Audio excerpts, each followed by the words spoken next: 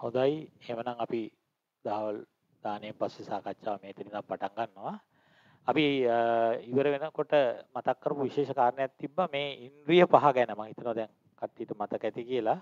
සද්ධා වීරිය සති සමාධි ප්‍රඥා කියන ඉන්ද්‍රිය පහ.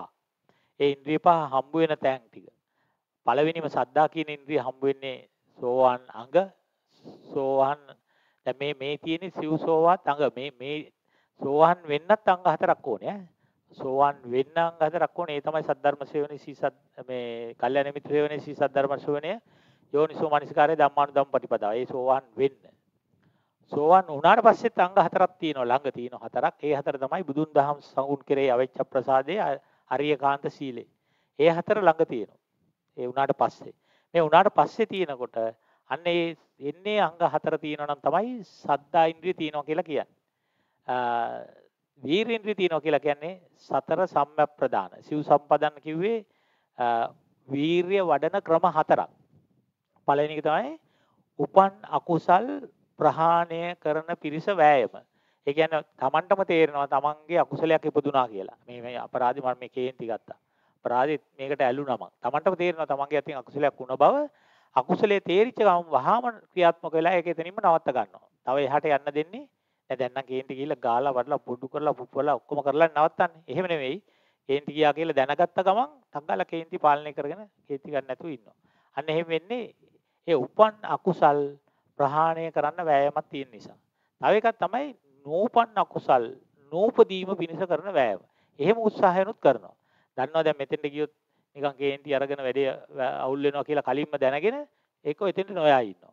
එහෙම නැත්නම් යනවා මොනවා කරත් මං කේන්ති ගන්න නැහැ කියලා අදිෂ්ඨාන කරගෙන යනවා. ගිහිල්ලා කේන්ති ගන්න නැතුව ඉන්නවා. සරල විදියට ඉන්නවා. එතකොට ඒ කියන්නේ අකුසලයක් සාමාන්‍ය විදියට ගියා නම් ඉපදෙන්න අකුසලයක් ඉපදෙන්න තමයි තිබ්බේ. නමුත් එහෙම නෙමෙයි ගියේ. බුදුහාමුදුරන්ගේ ධර්මය අහලා ආපු ප්‍රඥාව පාවිච්චි කරන් හිටිය අය වෙලාව. ප්‍රඥාවෙන් හිටියා. කේන්ති ගත්තේ නැහැ. එහෙනම් නෝපන්න අකුසල් නෝපදීම පිනිස කරන වෑයම. ඒ ඒක තිබුණා එතන. නෝපන්න අකුසල් නෝපදීම පිනිස කරන වෑයම තිබුණා. එතකොට අන්න අකුසලයක් උපද්දව ගත්තේ නැහැ. ඊට පස්සේ කුසල් උපදවීම, උපන් කුසල් වර්ධනය කිරීම. හරි ඒ ටික තමයි හතර. ඊට පස්සේ සතර සතිපට්ඨාන කියන්නේ කායන ප්‍රශ්න වේදනා ප්‍රශ්න එක දන්නවා. ඊට පස්සේ සිව් දහන් ඵල සමාධි ඉන්ද්‍රිය තියෙන හතර දහන් වල ප්‍රඥා ඉන්ද්‍රිය තියෙන්නේ චතුරාර්ය සත්‍ය. චතුරාර්ය සත්‍ය අවබෝධ කරගන්න ඕනේ. ඒතකොට ඔය ඉන්ද්‍රිය පහ තියෙන්නේ ඔන්න ඔය තැන් වල ඒ තැන් ටික ඔක්කොම ඉතින් දැන් අපිට සාකච්ඡා කරන්න වෙනවා. ඒක නිසා දවස් ගාණක් යනවා. දයි එහෙමනම් අපි මේ ටික එන හැටි බලමු. දැන් මෙතන අපි මට මාත් එක්කත් කීප දෙනෙක් කතා කරා. සීද්දොල ආරණ්‍යයේදී දවස් පහම සාකච්ඡාට සම්බන්ධ වෙච්ච අයත් මෙතන ඉන්නවා කියලා කිව්වා කීප දෙනෙක්. එතකොට ඒකම තවත් ධර්මයේ ඕන තරම් අහලා ඇති මේ වගේ වැඩසටහන් වලින් ධර්මය අහපු අයත් ඇති. සාමාන්‍යයෙන් ඒ අපේ ගෞරවනීය ස්වාමීන් වහන්සේලාගෙන් ධර්මය අහපු ගොඩක් අය ඇති. ගොඩ දෙනෙක් ඇති. ඉතින් හැමෝම මෙන්න මේ සූත්‍රයේ තියෙන කාරණාව හොඳින් තේරුම් ගන්න. මේකට කියන්නේ ඉන්ද්‍රකීල සූත්‍රය කියලා. ඉන්ද්‍රකීල කියන ඉන්ද්‍රකීල කියන්නේ නිකන් ලොකු උලක් අර ඉන්ද්‍රකීලයක් වගේ නොසැලී සිටිනවා කියලා කියන්නේ ඒ ඉන්ද්‍රකීල කියන්නේ ලොකු යකඩ උලක් හතරෙන් තුනක් විතර පොළොවේ යටට ඉන්දනවා. යකඩ උලක් අරන් ලොකු එකක්. ඒ උලෙන් හතරෙන් තුනක් විතර පොළොවේ යටට ගහලා දාලා හිටවනවා. එතකොට දැන් උඩ උඩ තියෙන හතරෙන් එකක් විතර. ඉතින් ඒක මේ හුලඟක් ආවා කියලා හෙලවෙන්නේ යකඩ උලක් අරන් හතරක් හතරෙන් තුනක්ම පොළොවට යනට බැස්සුවට පස්සේ උලක් තියෙනකොට ඒක හුලඟාවට උල හෙලවෙන්නේ නැහැ. හැබැයි පුළුන් කෑල්ලක් නම් පුළුන් කෑල්ලක් තිබ්බොත් එහෙම පොළොව උඩ මොකද වෙන්නේ? මෙහෙන් උලංගවත් එහෙට ගහන් යනවා. මෙහෙන් උලංගවත් එහෙට ගන්නවා. කොහෙන් හරි උලන් එනවද ඒ පැත්තට ගහන් යනවා. දැන් බුදුහාමුදුරු උදාහරණයකින් කියනවා මේ චතුරාර්ය සත්‍ය දැක්කේ නැති අය චතුරාර්ය සත්‍ය තමන් තමන් බුදුහාමුදුරන්ගේ ධර්මය අහුවන චතුරාර්ය සත්‍ය දැක ගන්න ඕනේ. චතුරාර්ය සත්‍ය දැනගන්න නෙමෙයි ඈ චතුරාර්ය සත්‍ය හැමෝම දන්නවා. මොනවද දුක්ඛ සත්‍ය, දුක්ඛ සමුදය, දුක්ඛ නිරෝධ, දුක්ඛ නිරෝධ මාර්ග නේද? ඕන කෙනෙක් දන්නවා. ටක් ගාලා කියන්න පුළුවන්. හැමෝම දන්නවා. දන්න අය ගැන නෙමෙයි මේ කියන්නේ ඈ. දන්න අය නෙමෙයි දැක්ක අය. චතුරාර්ය සත්‍ය දැක්ක අය ඉන්ද්‍රකීලයක් වගේලු. ඉන්ද්‍රකීලයක් වගේ. එයාව කොහෙටවත් ගහන් යන්නේ නෑ. එයාව කොහෙටවත් ගහන් යන්නේ අර පුළුන් කෑල්ල නම් ගහන් යනවනේ හැමතැනම. ඒතකොට මෙයාව ගහන් යන්නේ නෑ. ඒ මොකද ගහන් යන්නේ නැත්තේ? චතුරාර්ය සත්‍ය දැක්කනම් දැක්කයි ඉතින් එච්චරයි. ඉතින් ආයි තව 18 පාරක් දකින්න එකක් එකපාරේ දැක්කනම් දැක්කයි. ඉතින් දැක්කයි. ඉතින් තව දකින්න දෙයක් නෑ. තව ඉතින් මේ ධර්මයේ කියලා යට අහලා දැනගන්න දෙයක් නෑ. පරපත්‍ය රහිතයි. දැන් එයාට තියෙන්නේ දැක්ක චතුරාර්ය සත්‍ය අනුව ලෝක ජීවත් වෙන්න තියෙන්නේ. ආයි හතර වටේ ගිහිල්ලා මේ මේ මේ හාමුදුරුවෝද බණ හරියට කියන්නේ අර හාමුදුරුවෝද බණ කියන්නේ මේ හාමුදුරුවෝ බණ කියන්නේ කියලා හතර වටේ ගිහිල්ලා බණ අහන්න ඕන කමක් එන්නේ නෑ හරියට දැක්කනම්. හැබැයි දැක්කේ නැත්තම් අනිවාර්යෙන්ම අහන්න ඕනේ. අනිවාර්යෙන්ම ගිහිල්ලා කොහේ හරි ගිහිල්ලා කොහොම හරි අහගන්න වැරෙන්න ඉස්සෙල්ලා. හරි? ওই ලෝකේ හරි කවන්නේ කොහේ කොහේ හරි කවන්නේ චතුරාර්ය සත්‍ය කියලා දෙන ධර්ම දේශනාවක් තියෙනවා නම් අනිවාර්යෙන් මේකට ගිහිල්ලා සම්බන්ධ වෙලා කොහොමින් හරි ඒක තේරුම් ගන්නත් ඕනේ. මොකද ඔක තේරුම් ගත්තේ නැත්නම් මේ මේ ලෝකේ ගැලවීමක් නෑ. කුමාර මේ පාර මැරෙන ඉස්සෙල්ලා තේරුම් ගන්න ඕනේ. අන්නේ චතුරාර්ය සත්‍ය තේරුම් ගත්තා නම් ඉන්ද්‍ර කීලයක් වගේ කොහොක්වත් යන්න ඕනේ නෑ. තේරුම් ගන්නකම් යන්න වෙනවා තමයි. හරි? යන්න වෙනවා තමයි. අනිවාර්යයෙන්ම යන්න වෙනවා. ඒතර ඒක තමයි මේ සූත්‍රයේ පෙන්වන්නේ යම්කිසි මහාන කෙනෙක් හෝ බමුණු කෙනෙක් හෝ මේ දුකේ තත්ත්වයේ නොදනිද්ද? දුක් වැළක්මට පිළිවෙතයි තත්ත්වයේ නොදනිද්ද? මේ බවත් මේ ඒකාන්තයක් දන්නේ දනි දක්නේ දකීයයි.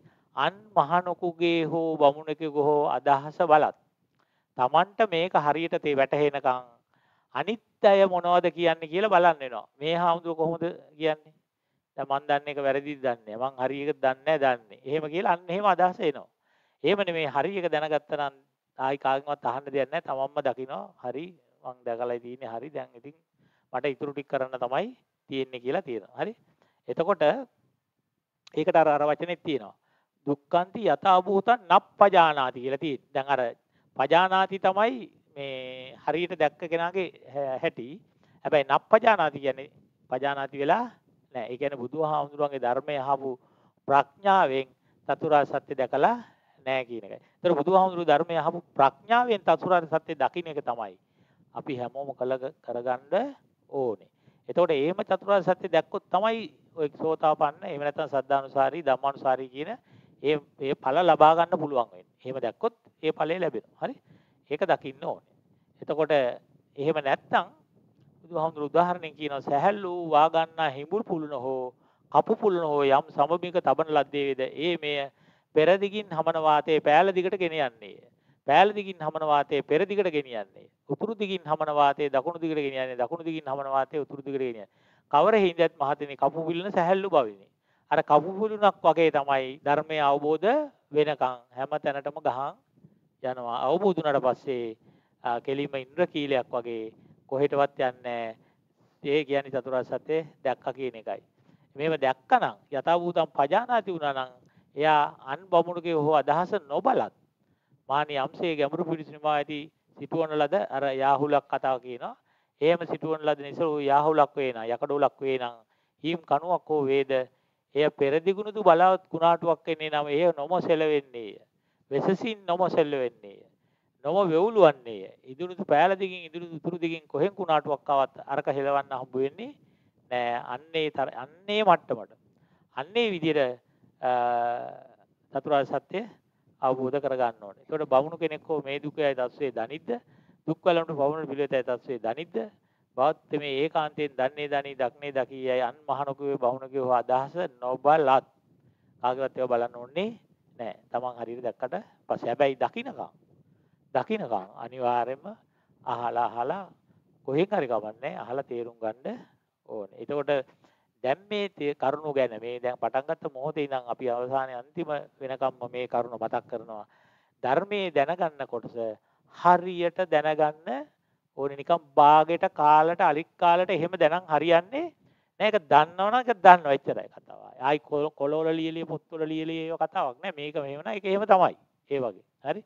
ඒක ඒ විදිහට දන්න දැක්ගත්තා. දැකගත්තා. දැනගත්තා. හරි ඉවරයි. එච්චර තමයි. ආයි තව එහෙම මේ හාර උස්සන්න දෙයක් නෑ එතකොට අර ධර්මයේ කෙරෙහි සැකක් තියෙන්න බෑ. ඔය කිව්වට ඔය ආමුදුරුවට ඔක කවුද කියන්නේ හරිද කියලා. අන්න එහෙම හිතෙන්න බෑ. හරි එහෙම හිතනවා නැති වැඩේ හරියන්නේ නෑ. හරියටම හරි. මොකද බුදුහාමුදුරු කියප එකක් වැරදෙන්නේ නෑ. දැන් මම බය නැතුව මේ ත්‍රිපිටකයේ සූත්‍ර තියෙනවා මම කියන පුළුවන් නම් జగතෙක් ඇවිල්ලා මේක මෙහෙම නෙමෙයි කියන්නේ. කිසි දෙයකට බය නැතුව කියනවා. ඇයි එහෙම කියන්නේ? ඔව් මං හොඳටම මේ දන්නවා අර එහෙම එකක් නෙමෙයි. මට බුදුහාමුදුරු හොඳටම විශ්වාසයි. ඉතින් බුදුහාමුදුරට වැරදෙන්නේ නෑ කියලා හොඳට විශ්වාසයි. බුදුහාමුදුරු දේශනේ එහෙම එහෙම අභියෝග කරලා බය නැතුව කියන්න පුළුවන්. කාටවත් ඉතින් ඒක බොරු කරන්න බෑ ඉතින්. කතා දෙයක් නැහැ. ඉතින් කිව්වට වැඩක් නැහැ. බය නැතුව කියන්න පුළුවන් නම් කවුරු හරි බොරු කරන්න මේක පුළුවන් නම්. එහෙම කීත හැකි. බය නැතුව කීත හැකි. මොකද ඒක බොරු කරන්න පුළුවන් జగතික මේ ලෝකේ නැහැ. බුදුහාමුදුරු දේශනා කළ දෙවියෙකුට හරි මාර්යෙකුට හරි මොකෙකුටවත් බෑ මේකට වඩා වෙන එකක් කියන්න. මේ සත්‍ය බුදුහාමුදුරු බුදු එලි කරලා ඉවර ආයි වෙන ඒවා කියන්න කාටවත් බෑ. සත්‍ය එකමයි තියෙන්නේ. හරි චතුරාර්ය සත්‍ය. හරි ඒක හරියටම දැනගන්න. ඒක හරියට දැනගත්තාම දැනගත්තා. ආයි වෙන මුකුත් බලන්න දෙයක් නැහැ. එතකොට ඒක බැලගන්න ක්‍රමවේදය තමයි අපි මේ ඒ විදිහට තමයි මේ වැඩේ ඒ බුදුහාමුදුරු කියලා තියෙන විදිහටම තමයි මේ සාකච්ඡාව දිගටම ගෙනියන්නේ. මුලින්ම කිව්වේ අල්ලෝමස් ශාන්තියට බහින්න ඕනේ, සම්මතනියාවට බහින්න ඕනේ. එතකොට දැන් අපි පස්සේ ඊළඟ සූත්‍ර වලින් පෙන්නලා දුන්නා සද්දා වීර්ය සසමාධි ප්‍රඥා කියන ඉන්ද්‍රිය ටික ලබා ගන්නත් ඕනේ මොනේ. ඒකත් ගන්න ඕනේ. හරි? එතකොට ඒවත් අරගෙන තමයි මේ වැඩේ කරගන්න වෙන්නේ. එතකොට ත්‍රිපිටකයේ සූත්‍රයක් තියෙනවා 40 ආකාරයක් පෙන්නලා තියෙනවා. ඒකෙදි ප්‍රශ්නයක් අහනවා මේ මේක තියෙන පටිසම්භිදා මග්ග ප්‍රකරණේ දෙක කියන ත්‍රිපිටක ග්‍රන්ථේ 236 පිටුවේ කිහි අයුරකින් අල්ලෝම ශාන්තිය ලබාද කිහි අයුරකින් සම්නත් නියාමයට බසීද යත් 40 අයුරකින් අල්ලෝම ශාන්තිය ලබයි 40 අයුරකින් සම්මත. ඒතකොට මේ අල්ලෝම ශාන්තිය සම්මතට බහින ක්‍රම 40ක් තියෙනවා. ඉතින් 40ම නම් අපිට මේ දවස් හතෙන් කතා කරන්න විදියක් නෑ. එකක් දෙකක් තුනක් වගේ කතා කරගන්න පුළුවන් වෙයි. හරි? ඒ ක්‍රම දෙක තුනක් කතා කරනවා අපි. ඉතින් ওই 40ම ඕනේ නෑ. එකක් හරියට දන්නවනම් හොඳටම ඇති. හරි? එකක් විතරක් කියලා ඉන්නේ දෙක තුනක්ම කියනවා. ඉතින් හදිසි ඒකෙන් කාට හරි බැරි නම් අනිත් එකෙන් ඒකෙන් බැරි නම් තව එකෙන් හරි එහෙම කියලා තුනක් විතර වගේ කියනවා. තුනක් හරි හතරක් හරි අපි කතා කරන්න බලාපොරොත්තු වෙනවා. හරි? එතකොට ඒ 40 අයුරට තියෙන ඒවා අතරින් මම කීපයක් තෝරගත්ත එකක් තමයි පංචස්කන්ධයේ බයෙහි ඉඳක්නේ අනුව සාන්ති ලබනවා. දැන් පංචස්කන්ධය හරි භයානකයි. පංචස්කන්ධය කියලා කිව්වේ මේ ලෝකේ ඇසුරු කරන ක්‍රම වේදී. ඒක මාර භයානක එකක් කියලා දැක්කොත් දැනගත්තොත් දැකගත්තොත් අන්න එයා අනුලෝම සාන්තියට ආවා. හැබැයි පංචස්කන්ධය නිරුද්ධ කරාම තමයි නිවනට යන්නේ. පංචස්කන්ධේ භයානකයි නිවන නම් බය වෙන්න දෙයක් නෑ. පංචස්කන්ධ නිරෝධ සංකාත නිර්යාණය අබේයයි. බය වෙන්න දෙයක් නෑ කියලා දැක්කනම් සම්මත නියමයට වහිනවා. හරි? ඒ කියන්නේ නිවන හොඳයි. ලෝකේ හොඳ නෑ කියලා දකින්න තියෙන්නේ. ලෝකේ නම් ගන්නම දෙයක් නෑ. නිවන නම් හොඳයි. එන්න එහෙම දැක්කනම් අන්න අනුලෝම ශාන්තියත් හරි සම්මත නියමයත් හරි ඊළඟට මොකද වෙන්නේ? අනුලෝම ශාන්තියටත් ඇවිල්ලා සම්මත නියමයටත් තානම් අන්න එහෙම අයට තමයි සද්ධානුසාරී ධම්මානුසාරී සෝතාපන්න ආදී මගඵල ලැබෙන්නේ. එතකොට දැන් අපි දැන් මේ සාකච්ඡාව ගෙනියන්නේ අන්න ඒක පෙන්වන්න. ලෝකෙ හොඳ නෑ. නිවන හොඳයි කියලා පෙන්නනවා. එතකොට ඒක තමනුත් තේරුණා නම් එහෙනම් මෙන්න මේ කොන්දේසි දෙක හරි. හරි. ඒ වගේම තව එකක් පෙන්නනවා. ලෝකේ කියන්නේ මේ මේ ලෝකේ අසුරු කරනවා කියන මේක මා ලෙඩක්. ඒ කියන්නේ මට ලෙඩක් තියෙනවා. ඒ ලෙඩේ තියෙන හින්දා තමයි මම මේ ලෝකේ අසුරු කරන්නේ. ඒ ලෙඩේ හොඳ කරගත්තා නම් ලෝකේ අසුරු කරන්න ඕන වෙන්නේ නැහැ. ලෙඩේ තියෙනකන් ඕනේ. ලෙඩේ හොඳයි නම් ඕනේ හරි. ඒ කියන්නේ ලෙඩේ තියෙනවා නම් ලෝකේ ලෙඩේ හොඳයි නම් නිවනේ. හරි. ලෙඩේ තියෙනවා නම් ලෝකේ ඉන්නේ. ලෙඩේ හොඳ කරගත්ත ගමන් නිවනේ තියෙන්නේ. ඉතින් ඒක දැක්කොත් ලෝකේ කියන්නේ ලෙඩේ නිවන තමයි ආරෝග්‍ය. ලෝකේ රෝගය නිවන ආරෝග්‍ය. එහෙම දැක්කොත් අනුලෝම ශාන්තියටත් ඇවිල්ලා සම්මත නියාමයටත් බහැලා ඉවරයි. ඉතින් එයාටත් පුළුවන් සෝ මේ සද්ධානුසාරී ධම්මානුසාරී ඒව ටික ගන්න. ඒතර ඒකත් අපි කතා කරනවා. මේක බයයි පංචස්කන්ධය භයානකයි කියලාත් කතා කරනවා. මේ මේ පංචස්කන්ධය කියන්නේ ලෙඩක් කියලාත් කතා කරනවා. ඒතකොට දැන් තව එකක් මේකේ මේ පංචස්කන්ධය කියලා වචනේ දාලා තිනවා. දැන් ගොඩක් වෙලාවට මේ ත්‍රිපිටකයේ තියෙන සූත්‍රවල පංචස්කන්ධය කියන වචනේ දාලා තියෙන්නේ පංච උපාදානස්කන්ධයටම තමයි. හරි දැන් මේක පැටලෙන්න ඉඳින්න මම මේක මතක් කරන්නේ. දැන් මේකේ මේ පංචස්කන්ධය කියලා දැම්මට මේ කියලා තින්නේ පංච උපාදානස්කන්ධය. දැන් ඒක කොහොමද දැනගත්තේ? ඉතින් මේ පංචස්කන්ධයනේ කියලා තියෙන්නේ. ඉතින් කොහොමද පංච උපාදානස්කන්ධය කියලා දැන් මොකද නිකන් මොකක් හරි දිවසක් හරි මොකක් හරි 아무තු ඥානයක් තියෙන මොකක් හරි. මේ කියලා තියෙන්නේ පංච උපාදානස්කන්ධය ගැන පංචස්කන්ධය ගැන නෙමෙයි කියලා දැනගත්තේ කොහොමද? මම දැනගත්තා. මම දැනන් ඉන්නේ ඒක එහෙමයි කියලා. කොහොමද දැනගත්තේ? ඉතින් මේ ඊළඟ පේළිය තියෙන්නේ පංචස්කන්ධයාගේ නිරෝධ සංඛ්‍යාත නිර්වාණය. ඒ කියන්නේ නිරුද්ධ කරන්න පුළුවන් මොකද්ද? නිරුද්ධ කරන්න පුළුවන් පංච උපාදානස්කන්ධය. පංචස්කන්ධය නිරුද්ධ කරන්න හම්බ වෙන්නේ පංචස්කන්ධය නිරුද්ධ වෙලා යනවා පිරිනොම් පැවට පස්සේ. ඒක නිසා දන්නවා මේ කියලා තියෙන්නේ පංචස්කන්ධය ගැන පංච උපාදානස්කන්ධය ගැන. සෝත කියන්නේ මොකද්ද?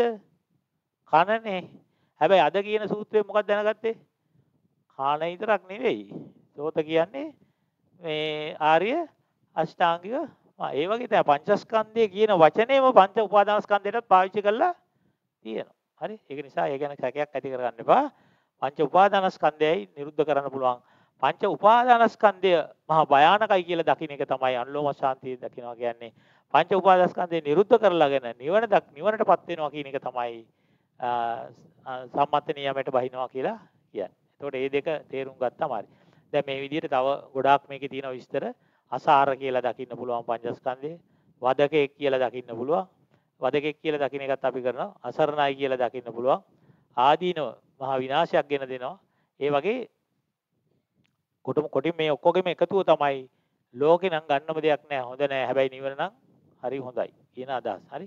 අන්න එහෙම ආවනම් මේ පංචස්කන්ධයේ ආබාධ නිවන අනාබාධ. පංචස්කන්ධයේ ව්‍යසන නිවන ව්‍යසන රහිත. පංචස්කන්ධයේ උපද්‍රව නිවන උපද්‍රව රහිත. පංචස්කන්ධයේ දුක් නිවන සුව. නිවන් සැප. හරි. නිවන් සැප හම්බ වෙන්නේ. හරි. මරුණාට පස්සේ ගන්න එක නෙමෙයි. වැරදිලා බෝඩ් ගහන්නේ නිවන් සැප දැම්මම ගන්න පුළුවන් එකක්. හරි. එතකොට ඒකේ තියෙන ඒවා අපි මේ විදිහට පොඩි කීපයක් මම ගත්තා. ඒ සූත්‍රය ඇසුරෙන් අපිට දකින්න තියෙන්නේ මෙච්චරයි. පංචස්කන්ධය යනම් මනම් වචන වලින් කිව්වට කියලා තියෙන්නේ මේකයි. ලෝකේ ඇසුරු කර කර මේ ලෝකෙටම වෙලා ඉන්න එක හරිම භයානකයි. මේක වදයක්. මේක අසාර වැඩක්. මේක දුකක්ම උරුම කර දෙන වැඩක්. මේක ව්‍යසනයක්. මේක මහා උපද්‍රවයක්. මේක ආබාධයක්. මේක ලෙඩක්. අන්න එහෙම දැක්කනම් එයා අල්ලෝම ශාන්තියට පත් වෙනවා. නිවන නිවනේ ඔය කියන தත්ත්වේ නැහැ කියලා දැක්කනම් සම්මත නියාමයට බහිනවා. හරි? ඒක මෙන්න මේ වගේ පොඩි උදාහරණයකින් මම කියන්නම්. ඔන්න ඉස්සර කාලේ මිනිස්සු නැව් වලින් යද්දී කපුටු ටිකක් කූඩුවකට දාගෙන අරන් යනවලු. හරි? ඉස්සර කාලේ ඉතින් දැන් තරම් ওই තාක්ෂණික උපකරණ නැති නිසා ඒගොල්ලෝ හදිසියවත් පාර වැරදිලා අනම්මන වෙලා දැන් මුහුදේ යනවා යනවා ගොඩබිමක් පේන තෙක් මාන එක නැහැ. එතකොට මොකද කරන්නේ මේගොල්ලන්ට සැක සහිත නම් දැන් කොහේ යනවද කියලා එක බලා ගන්න. ඒගොල්ලෝ මොකද කරන්නේ අර කපුටු ටික අත්හැරලා නැවයෙන් අත්හැරලා එලවනවා. නැවේ වහලා ඉන්න දෙන්නේ නැතුව එලවනවලු කපුටු ටික. එලවුවාම දැන් කපුටු උඩ ඉගිලෙනවා. ඉගිලිලා උඩට ගිහිල්ලා කැරකිලා කැරකිලා බලනවා. පේන තෙක් මානේ කොහේ හරි ගොඩබිමක් තියෙනවද කියලා. දැන් කැරකෙනවා කැරකෙනවා කැරකෙනවා කොහේ බැලුවත් හතර වටේ මුහුද නම් පේන්නේ ගොඩබිමක් පේන්නේ නැත්නම් කපුටට ඉතින් අරේ ගිහිල්ලා යන්න විදිහාවක් නැති නිසා ආපහු කරකිලා කරකිලා කපුටු ටික මොකද වෙන්නේ? නැවටම වහනවා. කොච්චර එලෙව්වත් නැවටම ඉතින් මොනව කරන්නද ලෝකේ හොඳ නෑ කියලා කොච්චර දැනගත්තත් වැඩක් නෑ. බේරෙන්න ක්‍රමයක් දන්නේ නැත්නම් ආපහු මොකෝ වෙන්නේ? ලෝකෙටම එනවා ලෝකෙටම එනවා හරි? ඉතින් ලෝකේ හැටි හොඳ නෑ මේක තේරුම් නෑ මේකේ එහෙම එහෙම කියලා දැනගත්ත පමණින් වැඩේ හරියන්නේ නෑ.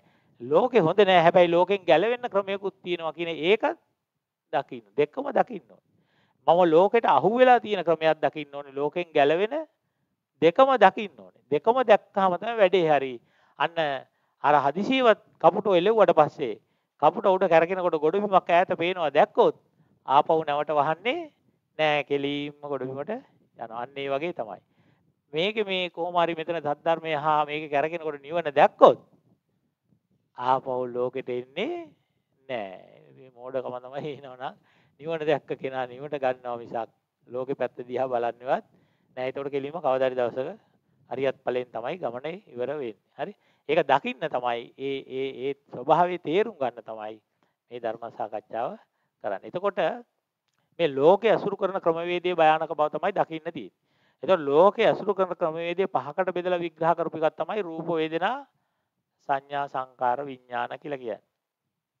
මේ රූප වේදනා සංඥා සංකාර විඥාන ගැන පොඩි අදහසක් ගන්න මම පොඩි මේ පොඩි සද්දයක් බලන්න.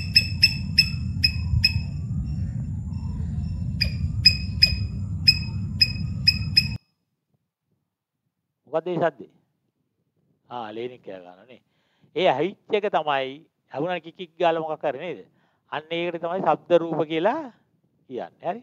ඒ ශබ්ද රූපයක් තමයි ඔය ඇහුනේ. ඊට පස්සේ ඒ ඒ ආපු සද්දේ ඔයගොල්ලෝ දැනගත් එක තමයි වේදනා කියලා කියන්නේ. ඒක හඳුනගත්තානේ ලේනික් කියලා. ඒ තමයි සංඥා කියලා කියන්නේ.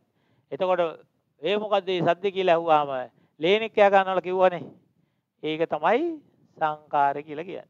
එතකොට රූප වේදනා සංඥා සංකාර වලින් තමයි දැනගත්තේ දැනගත්ත එක තමයි විඥානයි. එතකොට මේ රූප වේදනා සංඥා සංකාර විඥාන කඩලා කෑලි කෑලි වෙනම ගන්න විදියක් එකටම වෙනවා. ටක් ගාලා පහම වෙලා අපිට වැඩේ වෙනවා. එතකොට දැන් දැන් ඕගොල්ලන්ට මෙච්චර වෙලා තිබ්බේ නැති විඥානයක් තියෙනවා. මෙච්චර බන බහ හිට හිට විඥානේ තිබ්බේ නේද? දැන් අලුත් විඤ්ඤාණයක් කරන ලේනික් කෑ ගහන සද්දේ. ලේනික් කෑ ගහනවා ඇහි දැන් මෙච්චර මං කෑ ගහන එක තමයි දැනන් ඉදී නේද? මගේ කෑ ගහilla තමයි ඇහුනේ තොර දෝච්චියක් නැහැ ආපු වෙලේ ඉඳලා කියවනවා කියවනවා කියවනවා නේද? දැන් එකපාරම ලේනික් කෑ ගහන්න පටන් ගත්තා. දැන් මේ බන අහන දැන් හෙට දැන් ගෙදර යනකොට ගෙදර ගිහිල්ලා හැම කවුරු රැවුවා මොකද මේ මේ බන අහන මොනවද මොකද උනේ? ආ වාර වැඩක් වුණානේ. එකපාරම මේ බන අහිනවා එකපාරම ලේනික් කෑ ගැහුවානේ ටක් ගාලා. දැන් ඒක ගෙදරදී කියන්න පුළුවන් නේද? කොහොමද කියන්නේ? මේ විඥානේ දැන් ඒ ලේන කෑ ගහපු විඥානේ දැන් ඕකේ මතකේ තියෙනවා. දැන් ඔකට බන ටික ඔක්කොම අමතක වුණත් ලේන කෑ ගහපු එක නම් අමතක වෙන්නේ නෑ. එහෙම තමයි හැටි. අර ඕනේම අමතක වෙලා යනවා. ඕන් නැති එකම තමයි මතක තියෙන්නේ. ඉස්කෝලේ යන කාලෙත් බලන්න දැන් මතක් කරලා බලන්න. හොඳට පාඩමක් එහෙම මතක් වෙයිද කියලා. මොනවා හරි නිකන් අඤ්ඤ බජල් මොනවා හරි වැඩක් කරපු එකක් නම් මතක් වෙයි. හොඳට ලස්සනට ඉගෙන ගත්තා මම මේ පාඩම හොඳට ඉගෙන ගත්තා අම්මෝ නියමට තේරුණා කියලා ඒ දැන් ඒ පාඩමත් ආයි තේරෙන්නේ එහෙම එකක් වෙන්නේ නැහැ. හොඳේ මතක් වෙන්නේ නිකන් අමුතුයෝ තමයි මතක් වෙන්නේ. එතකොට අන්න එහෙම විඥානයකින් තමයි අපි ඔක්කොම මතක තියාගෙන තියෙන්නේ. එතකොට විඥාන අපිට විඥාන තියෙනවා ඕගාලා මේ දැනගත්තේ අද උදේ ඉඳන් කතා කරු ටිකක් දැන් විඥාන හැටියට තියෙනවා. ඒ වගේම ඊට කලින් ඒවා ඔක්කොම මේ ජීවිතේ විතරක් නෙවෙයි පෙර ජීවිත සාර අසංකල්ප ලක්ෂයකටත් එහා කෙලවරක් නොබින සංසාරේ සියලුම ඒවා විඥාන හැටියට දැන් ඔයාලා ළඟ තියෙනවා. ඔක්කොම ගාව තියෙනවා. එතකොට මේ රූප වේදනා සංඥා සංකාර කියන වැඩපිළිවෙලෙන් තමයි ඇහෙන් ලෝකේ ග්‍රහණය කරගන්නේ. කනෙන් ගන්නෙත්, නාසයෙන් ගන්නෙත් හැම එකෙන්ම ගන්නෙ ওই ක්‍රමයටම තමයි. ඇහෙන් රූපයක් ගත්තා රූප වේදනා සංඥා සංකාර. කනෙන් ගත්තත් රූපකේ වෙනස් ඉන්නේ අර නම විතරයි වෙනස් වෙන්නේ. ඇහැට ගන්නේව නම් අපි රූප කියලාමයි කියන්නේ. අනිත් ඒවා ඔක්කොම ශබ්ද රූප, ගන්ධ රූප, රස රූප, ස්පර්ශ රූප, ධම්ම රූප, ඒ විදිහට රූප. දැන් රූප තමයි අපිට එන්නේ ග්‍රහණය වෙන්නේ. රූපය ආවා ඊට පස්සේ ඒවා අපේ ඇහැට ගැටිලා අපි රූප වේදනා සංඥා සංකාර විඥාන කියන ඒ ක්‍රමවේදයේ අනුව ඒ මොකද්ද කියන එක දැනගන්නවා. එතකොට ඒ දැනගන්න එක වගේම දැන ගැනීමක් තමයි ධර්මයේ දැනගන්නවා කියලා කියන්නේ. දැන් ඒමම දැන ගැනීමක් තමයි දහම දැනගන්නේ. දහම දැනගන්නේ අර ක්‍රමයට මේ විදිහට කැමති වෙලා කම්මෝ කරලා දැනගැනීමට සිත් වෙලා අර්ථය අරන් අනර්ථය හිතලා මේ ශාසනයට අනුමෝල සාන්තිය සමන්නාද වෙලා කැමති නම් සම්මත නියමතර බහැලා ඔහොම සී සද්ධර්මයක් දැනගන්නේ ඔය ක්‍රමෙටම තමයි. හරි ඕමෝ දැන් මේ විදිහටම තමයි දැන් අපි කතා කරන සියල්ලම දැනගන්නේ. මේ ධර්මයේ දැනගන්නකොට වැඩක් තියනවා කරන්න අර අනිත් ඒවා දැනගන්නකොට වගේ නෙවෙයි. හොඳ නැති එකක් දැනගත්ත ගමන් අනේ අම්මෝ මන්නම් ආයි ඕක කරන්නේ නැහැ කියලා හිතා ගන්න තියෙනවා. හොඳ එකක් නම් අම්මන් අද ඉඳලා ඒක කරනවා කියලා හිතා ගන්න තියෙනවා. දැන් ඔන්න වෙනස්කම ඒකයි ඈ. දැන් ලේනගේ සද්දයක දැනගත්තාම ඉතින් මොකෝ හිතා ගන්න දෙයක් ආ ලේනගේ සද්දයක් ඇහුණානේ කියලා හිතා ගන්න එහෙම එකක් ඕන කමක් එන්නේ නෑ. හැබැයි ධර්මයේ මොකක් හරි පණිවිඩයක් දුන්නාම ඒකේ හොඳක් නම් වෙන්නේ ආ ඒ හොඳ එක මම මෙතන පටන් ඒ හොඳ එක ඒ විදිහට මාත් කරනවා කියලා හිතා ගන්න වෙනවා. නරක එකක් නම් අපෝ ආයිනම් කරන්නේ නැහැ කියලා හිතා ගන්න වෙනවා. ඒතර හිතා ගන්න වැඩේ තමයි දැන් මේ දැන ගැනීමේදී කරන වෙනස. එතකොට දැන් බුදුහාමුදුරන්ගේ ධර්මයේ කියලා දෙනකොට මේක ඔයගොල්ලෝ උත්තර කල් ඕන තරම් බණ අහලා ඇති. හැබැයි බුදුහාමුදුර ගොඩක් ධර්මයේ කියලා දීපු අපි කොහොමටත් දන්නවා ඒක. අපි අනිවාර්යෙන් දන්නවා. දන්නවා වුණාට අර ඒව දැනගන්න හරියටම හිත එළවුවද? ඇයි අරකේ තිබ්බනේ දැනගත්තා පමණයි. දැන ගැනීමට හිත එළවුවා තමයි හරියටම ඒ කිව්වේ අර්ථය මොකද්ද කියලා Tamanටම අවබෝධ වෙන්නේ. අර නිඥානං කමති කියලා කිව්වේ. අර කතා කරනවා මේව කරනවා අවබෝධයකට පත් කරගන්නවා එක වෙලාවක. හරි. අන්න ඒ අවබෝධය කතාව වෙන්නේ අර හිත එලෙව්වට පස්සේ. එතකොට මේ දැන් මේ හැමෝම එන්නේ වැඩේ කරන්න ඕනේ. ඒ කියන්නේ දැන් දැන් මේ ධර්මය අහන වෙලාව මෙතනින් එහාට කියන ඒවා ඔක්කොගෙම මොන හරි ඒකේ මට යහපත් දෙයක් තියෙනවා නම් ඒක ඒ අනුව මමත් ඉදිරියට කටයුතු කරනවා කියන අදිෂ්ඨානයක් කරගන්න. හොඳ ඒකට හොඳ පැත්තට නරක එක නම් ආයි කරන්නේ නැහැ කියලා අදිෂ්ඨානයක් කරන. ඒකට අදිෂ්ඨානයක් කියලා කියන්නේ දැඩිව හිතා ගන්නවා. තදින් හිතා ගන්නවා. කරන්නෙම නැහැ කියලා. එහෙම තද බල විදියට හිතා ගන්න එක. අන්න ඒක දැන් කරන්න ඕනේ. හරි? දැන් ඔන්න බුදුහාමුදුරුවෝ කියපු එක්තරා සූත්‍රයෙන් එක්තරා පණිවිඩයක් විතරක් දෙනවා. මොකද්ද? මනුස්ස චුති සූත්‍රය.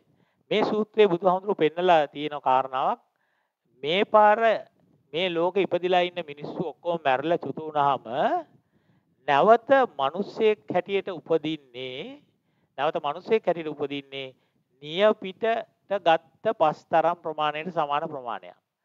ලෝකෙ පස් වලට සමාන ප්‍රමාණයක් උපදින්නේ නිරේ කියලා උපමාවකිමුත් එක්ක පෙන්වලා දීලා තියෙන මේ මනුස්ස චුති සූත්‍රේ. එතකොට මම ඒක පොඩි සංකේතයක් විදිහට හැදුවා. දැන් මෙන්න මේක තමයි ලෝක බෝලේ. ලෝක බෝලෙම තියෙන පස් හරි ලෝක බෝලෙම තියෙන පස් වලට සමාන මිනිස්සු ප්‍රමාණයක් නිරයට යනවලු. මේ නියපොත්තට ගත්ත පස් ප්‍රමාණ විතරක් මිනිස්සු බේරෙනවලු. ඒ කියන්නේ එයා මිනිස්සෙක් හරි දෙවියෙක් හරි වෙනවලු. එහෙම බැලුවොත් දල වශයෙන් බලනවා නම් මේ වෙලාවේ මේ ලෝකේ ජනගහනය කෝටි 800ක් ඉන්නවා. එතකොට මේ කෝටි 800න් නියපොත්තට ගත්ත ප්‍රමාණය කියන්නේ. හරි. නිකන් සාමාන්‍ය දැනීමට කල්පනා කරලා බැලුවොත් මේ කෝටි 800න් මේ පාර කී දෙනෙක් බේරෙයිද? මේ පාර මැරලා චුතු වුණාම මේ උපමාවෙන් බුදුහාමුදුරු කියලා තියෙන්නේ බේරෙන්නේ නියපොත්තර ගත් පස් ගන්න විතරයි කියලා. ඒ නියපොත්තර පස් ගන්න කිව්වට අපිට ගාණක් කියන්න බෑනේ කී දෙනෙක්ද කියලා නේද? කී දෙනෙක් බේරෙයිද? නිකන් උත්තරයක් කියන්න පුළුවන්. හිතා ගන්න බැරිද? හා? කී දෙනෙක් විතර බේරෙයිද? අපි ටික ඇර අනිත් ඔක්කොම ඒවයි නේ. අපි ටික බේරෙයි. අනිත් ටික එහෙම හරි. මාව ඇර ඉතින් අනිත් ඔක්කොම යයි එහෙම නේ. එහෙම එහෙම හරි තේරෙනවන ලොකු දෙයක්. හරි.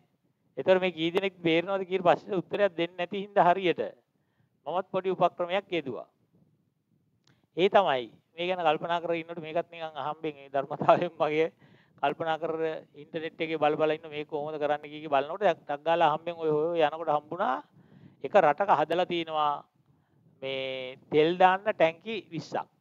ඒ තෙල් ටැංකි 20 තෙල් ලීටර් කෝටි 30ක් දාන්න පුළුවන්. ලීටර් කෝටි 30ක් ඈ. ලීටරේ බෝතලේ දන්නවා මෙන්න මේ වගේ බෝතලයන් ලීටර් කියන්නේ ගෙදර තියෙන්නේ. අන්නේ ඒ බෝතලේ ප්‍රමාණය වගේ කෝටි 30ක් මේ ටැංකි ටිකට දාන්න පුළුවන්ලු. හරි? එතකොට මම මොකද කරන්නේ? පොඩි වෙනසක් කරා. තෙල් නෙමෙයි මන් දානවා පස් ටැංකි 20ට. එතකොට ටැංකි 20ට පස් දැම්මොත් ටැංකි 20 තියෙනවා 5 ලීටර් කෝටි 30ක්. හරි? ඒ වගේ මේ බෝතලෙට පස් දානවා. එතකොට බෝතලේ 5 ලීටර් එකක් තියෙනවා. අන්න දැන් අර බුදුහාමුදුරුවෝ උදාහරණ වෙනුවට මම අලුතෙන් උදාහරණයක් හදලා ගත්ත පොඩි අපේ පැත්තට වාසි එකක්. අපි කියනවා මේ මේ ටැංකි 20 පස් තරම් ප්‍රමාණයට සමාන ප්‍රමාණයක් මිනිස්සු මේ පාර මැරුණාම අපාය යනවා කියලා. බෝතලේ පස් ගානට සමාන ප්‍රමාණයක් බේරෙනවා කියලා. එතකොට ටැංකියේ 20 තියෙන පස් ප්‍රමාණය අපි දන්නවා ලීටර් කෝටි 30යි ලීටර් වෙනුවට මිනිස්සු දානවා. එතකොට මිනිස්සු කෝටි 30ට මිනිස්සු එක්කෙනයි බේරෙන්නේ. මේ අපි ගත්ත උදාහරණය. අපි ගත්ත උදාහරණය අපේ වාසියට ගත්තේ. බුදුහාමුදුරුවෝ ගත්තේ ටැංකි 20 පස් නෙමෙයි ලෝකෙම පස්. එහෙනම් කෝටි 30ට එක්කෙනෙක් බේරෙන්නේ නැහැ. අනිත් පැත්තෙන් බැලුවත් බුදුහාමුදුරුවෝ බෝතලයක පස් නෙමෙයි ගත්තේ නියපොත්තේ පස්. ඒ පැත්තෙන් බැලුවත් කෝටි 30ට එක්කෙනෙක් බේරෙන්නේ නැහැ. කමක් නැහැ අපි නිකන් හිත හදාගන්න කෝටි 30ට එක්කෙනෙක් බේරෙනවා කියලා හිතමුකෝ. හරි කෝටි 30ට එක්කෙනෙක් බේරෙනවා. හැබැයි අවාසනාව කියන්නේ ලංකාවෙම ඉන්නේ කෝටි 2යි ලක්ෂ 14යි. දැන් ටිකකට කලින් ඈ අවුරුදු දෙකකට කලින් ඔය ගාන හිටියේ. දැන් පොඩ්ඩක් වැඩි වෙලා ඇති. ඉතින් ලංකාවෙම ඉන්නේ කෝටි 2යි. කෝටි 30ට එක්කෙනයි බේරෙන්නේ. ලංකාවෙම කී දෙනෙක් බේරෙයිද? ඈ? මාර වෙලෙන්නේ ඒ කෙනෙක්වත් බේරෙන්නේ නැහැ. එතකොට මේ බුදුහාමුදුරුවෝ මේ උදාහරණෙන් කියලා දීදී බේරෙනවා කියලාද බේරෙන්නේ නැහැ කියලාද? බේරෙන්නේ නැහැ කියලා කියලා දින. ඊ타ත්ම කලාතුරකින් මොනවා හරි විනා chance එකක් තිබිලා කවුරු හරි බේරුණොත් තමයි බේරෙන්නේ. දැන් ඊළඟ පොඩ්ඩක් හිතන්න ඕනේ. ටිකක් ඇතුළට හිතන්න ඕනේ. ගැඹුරෙන් හිතන්න ඕනේ. බුදුහාමුදුරුවෝ කිව්ව එක දැන ගැනීමට සිත් එළවයිනේ. ඉතින් දැන් ওই මිනිස්සෙක් වෙලා තින්නේ කොහොමද? දැන් ඊළඟ පාර ගැනනේ අපි කතා කරේ. දැන් මේ පාර මිනිස්සෙක් වෙලානේ. දැන් ඔය වෙලා තියෙන්නේ ඔය නියපොත්තේ chance එක හම්බ වෙලාද නැද්ද? ආ නියපොත්තේ chance එක හම්බ වෙලා තියෙන්නේ ඈ. ඊළඟ පාරත් හම්බ වෙයිද? මේ පාර හම්බ වුණා. chance එක වැදුනා. ස්විප් එක ඇදුනා මේ පාර. ඊළඟ පාර හම්බ වෙයිද? දැන් කොහෙත්ම chance එකක් නැහැ නේද? එකපාරක් හම්බුනා නම් මෙච්චර මේ කෝටි මේ 800ටම එක එක්කෙනෙක් දෙන්නේ බේරෙන එකට මේ ඊළඟ පාර කිසිම විශ්වාසයක් තියන්න විදිහ ওই chance එක වදී කියලා. ඒක නිසා අන්න chance එක හම්බ වෙච්ච වෙලාව ඒක තමයි මනුසත් භවයේ ඊට වාසනාවන්තයි කියන්නේ. අන්න හොඳ සම්පත්තියක් ඔකට කියන ශන සම්පත්තිය. හරි? එතකොට ඔන්න ඒ chance එක දැන් හම්බ වෙලා තියෙන්නේ. මනුසත් භවයේ කියන chance එක හම්බ වෙලා. මනුසත් භවයේ කියලා තියෙන chance එක දැන් හම්බ වෙලා තියෙන වෙලාවේ මේ පාර මැරෙන්න ඉස්සෙල්ලා සද්ධානුසාරී හරි ධම්මානුසාරී හරි උනේ නැත්තම් මොකද වෙන්නේ ඊළඟ පාර? කෙලිම සුවිප් එක ඇදෙනවා දිව්‍ය ලෝකෙට. නැහැ, ගෙලින්ම අපාය. ඊට පස්සේ කෙලින්ම ආයි කල්පකින් පස්සේ හම්බ වෙනවා. ඊට පස්සේ කතා නැහැ, බහ මොකුත් නැහැ, මොකුක්වත් නැහැ. කල්ප ගාණක් ගිහිල්ලා තමයි වැඩේ කරන්න තියෙන්නේ. ඒක නිසා මේ chance එක අත්හරින්න එපා. මොකද මේ වැඩේ මේ මේ දේශනාව බුදුහාමුදුරු කරලා තියෙන මනුස්ස ලෝකේ ගැන විතරක් නෙමෙයි හැම ලෝකෙටම කියලා තියෙනවා දෙවියන්ට, මිනිස්යන්ට, තිරිසන් ලෝකෙට, പ്രേත ලෝකෙට, නිරයට මොන ලෝකේ අය බැලුවත් ලෝකේ පස්තරම් ප්‍රමාණයක් අපායේ නියපොත්තේ පස්තරම් තමයි බේරෙන්නේ. දිව්‍ය ලෝකයටත් එහෙමයි. බ්‍රහ්ම ලෝකයටත් එහෙමයි. මනුෂ්‍ය ලෝකයටත් එහෙමයි. තිරිසන් ලෝකවල අනෙක් ලෝක සියලු ලෝක සියලු සත්‍යයන්ට වෙන්නේ හතර අපායට යන්න තමයි. ඒ කියන්නේ බුදුහාමුදුරන්ගේ දේශනාව අනුව මේ තල 31ක් තියෙනවා කියලා අපි කලිනුත් මතක් කරා. ඒ තල 31 කොයි තලයේ හිටියත් ඊළඟ පාර හම්බ වෙන්නේ පහළම තලයේ තමයි. හතර අපාය කියන තැනට තමයි ට්‍රාන්ස්ෆර් එක හම්බු වෙන්නේ. කෙලින් බුදුහාමුදුරු සූත්‍ර දේශනාවලම තියෙන අපි ඉස්සරහට ඒවා පෙන්නන්න. එතකොට කෙලින්ම පහළට තමයි යන්නේ. එතකොට මේ ලෝකේ තියෙන ක්‍රමවේදය තමයි පහළට ගමන් කරවීම. ඒක නේ මේක කය ධම්මයි කියලා කියන මේ ලෝකේ. පහළට දානවා. ඡය වෙලා යනවා. තමන්ව ඉතුරු වෙන්නේ හරි සම්පූර්ණයෙන් විනාශ වෙලා විනාශ වෙලා යන පහළටමයි යන්නේ. මේ ලෝක ස්වභාවය තමයි මේක. මේ ලෝකේ හැටි. ලෝකේ හැදිලා තියෙන ක්‍රමවේදී අනුව පහළට තමයි යන්නේ. හැබැයි ඒක නිසා ලෞතර බුදු කෙනෙක් අපේ බුදුරජාණන් වහන්සේලා පහළ වෙනෙක් ගැන අපි ගොඩක් කතා දන්නවා. එතකොට බුදු බුදුරජාණන් වහන්සේ නමක් මේ මනුස්ස ලෝකේ පහළ වෙලා මිනිස්යන්ටයි දෙවියන්ටයි බ්‍රහ්මයන්ටයි ඔක්කොටම මෙහෙම පාලට යන්න නැතුව මෙතනින් බේරෙන විදිය කියලා දෙනවා. අනිත් අය අනිත් මේ කියන දේ අහලා අහපු කට්ටිය බේරිලා යනවා. අනිත් ඔක්කොම පහළ යනවා. දැන් මේ අපි කතා කරන්න හදන්නේ මේ මනුස්ස ලෝකයෙන් නැවත කවදාවත් පහළට ගමන් නොකර ඉහළටම යන්න පුළුවන් ක්‍රමවේදයක් ගැනයි. හරි?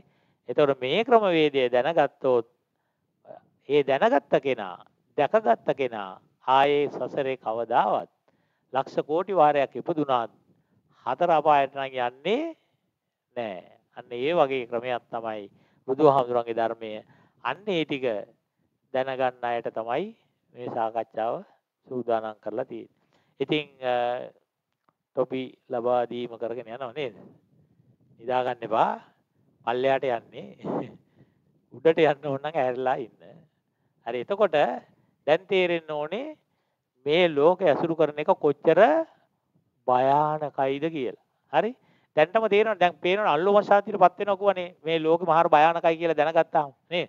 පංච උපාදානස්කන්ධය පංචස්කන්ධයෙන් තමයි ලෝකය ඇසුරු කරන්නේ පංච උපාදානස්කන්ධය කොච්චර භයානකයිද?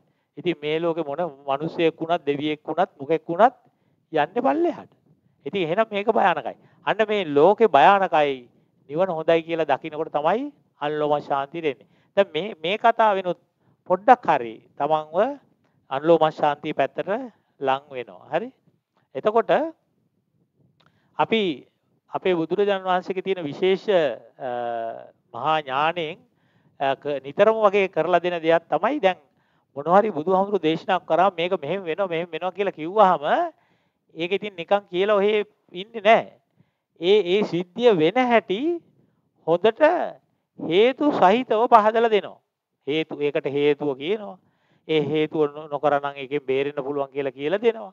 එතකොට මේ බුදුහාමුදුරන්ගේ ධර්මයට විශේෂයෙන් කියනවා හේතුඵල ධර්මය කියලා නේද? හේතුඵල වාදය කියන හේතුඵල ධර්මය කියනවා. ඒ හේතුවෙන් හේතු වලින් තමයි මේ වැඩේ සිද්ධ වෙන්නේ. එතකොට අපි හේතුව අයින් කරගත්තොත් හේතුව දුරු කරගත්තොත් අපිට මේකෙන් බේරෙන්න පුළුවන්කම ලැබෙනවා. එතකොට යන්නේ විදිහට ත්‍රිපිටකයේ සූත්‍ර දේශනා වලින් මෙන්න මේ පහළට යාමට හේතු හොයාගමු. හේතු. මොකද්ද හේතුව කියන්නේ? කෙලින්ම සූත්‍රයේ තියෙනවා.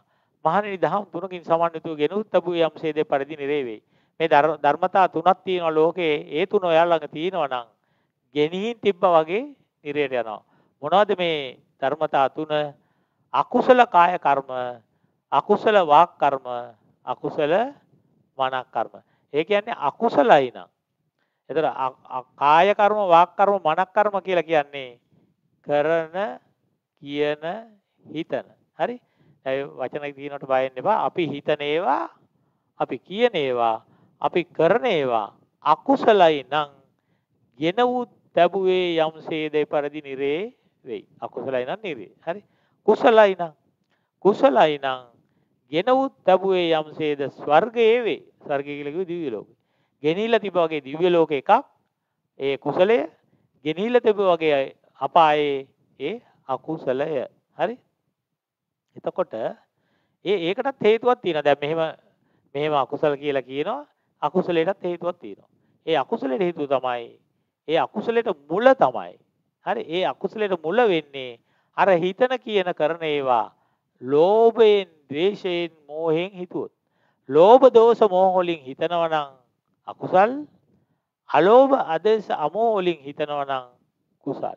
අන පැහැදිලිවම ලෝකෙ දෙකට බෙදාගත්තා. උත්තරයි තියෙන්නේ. දෙකයිමයි තියෙන්නේ. හරි. එක්ක ලෝභ දේශ මොහ අකුසල්, එක්ක අලෝභ දේශ මොහ කුසල්. ඒ විදිහට දෙකකට බෙදාගත්තා.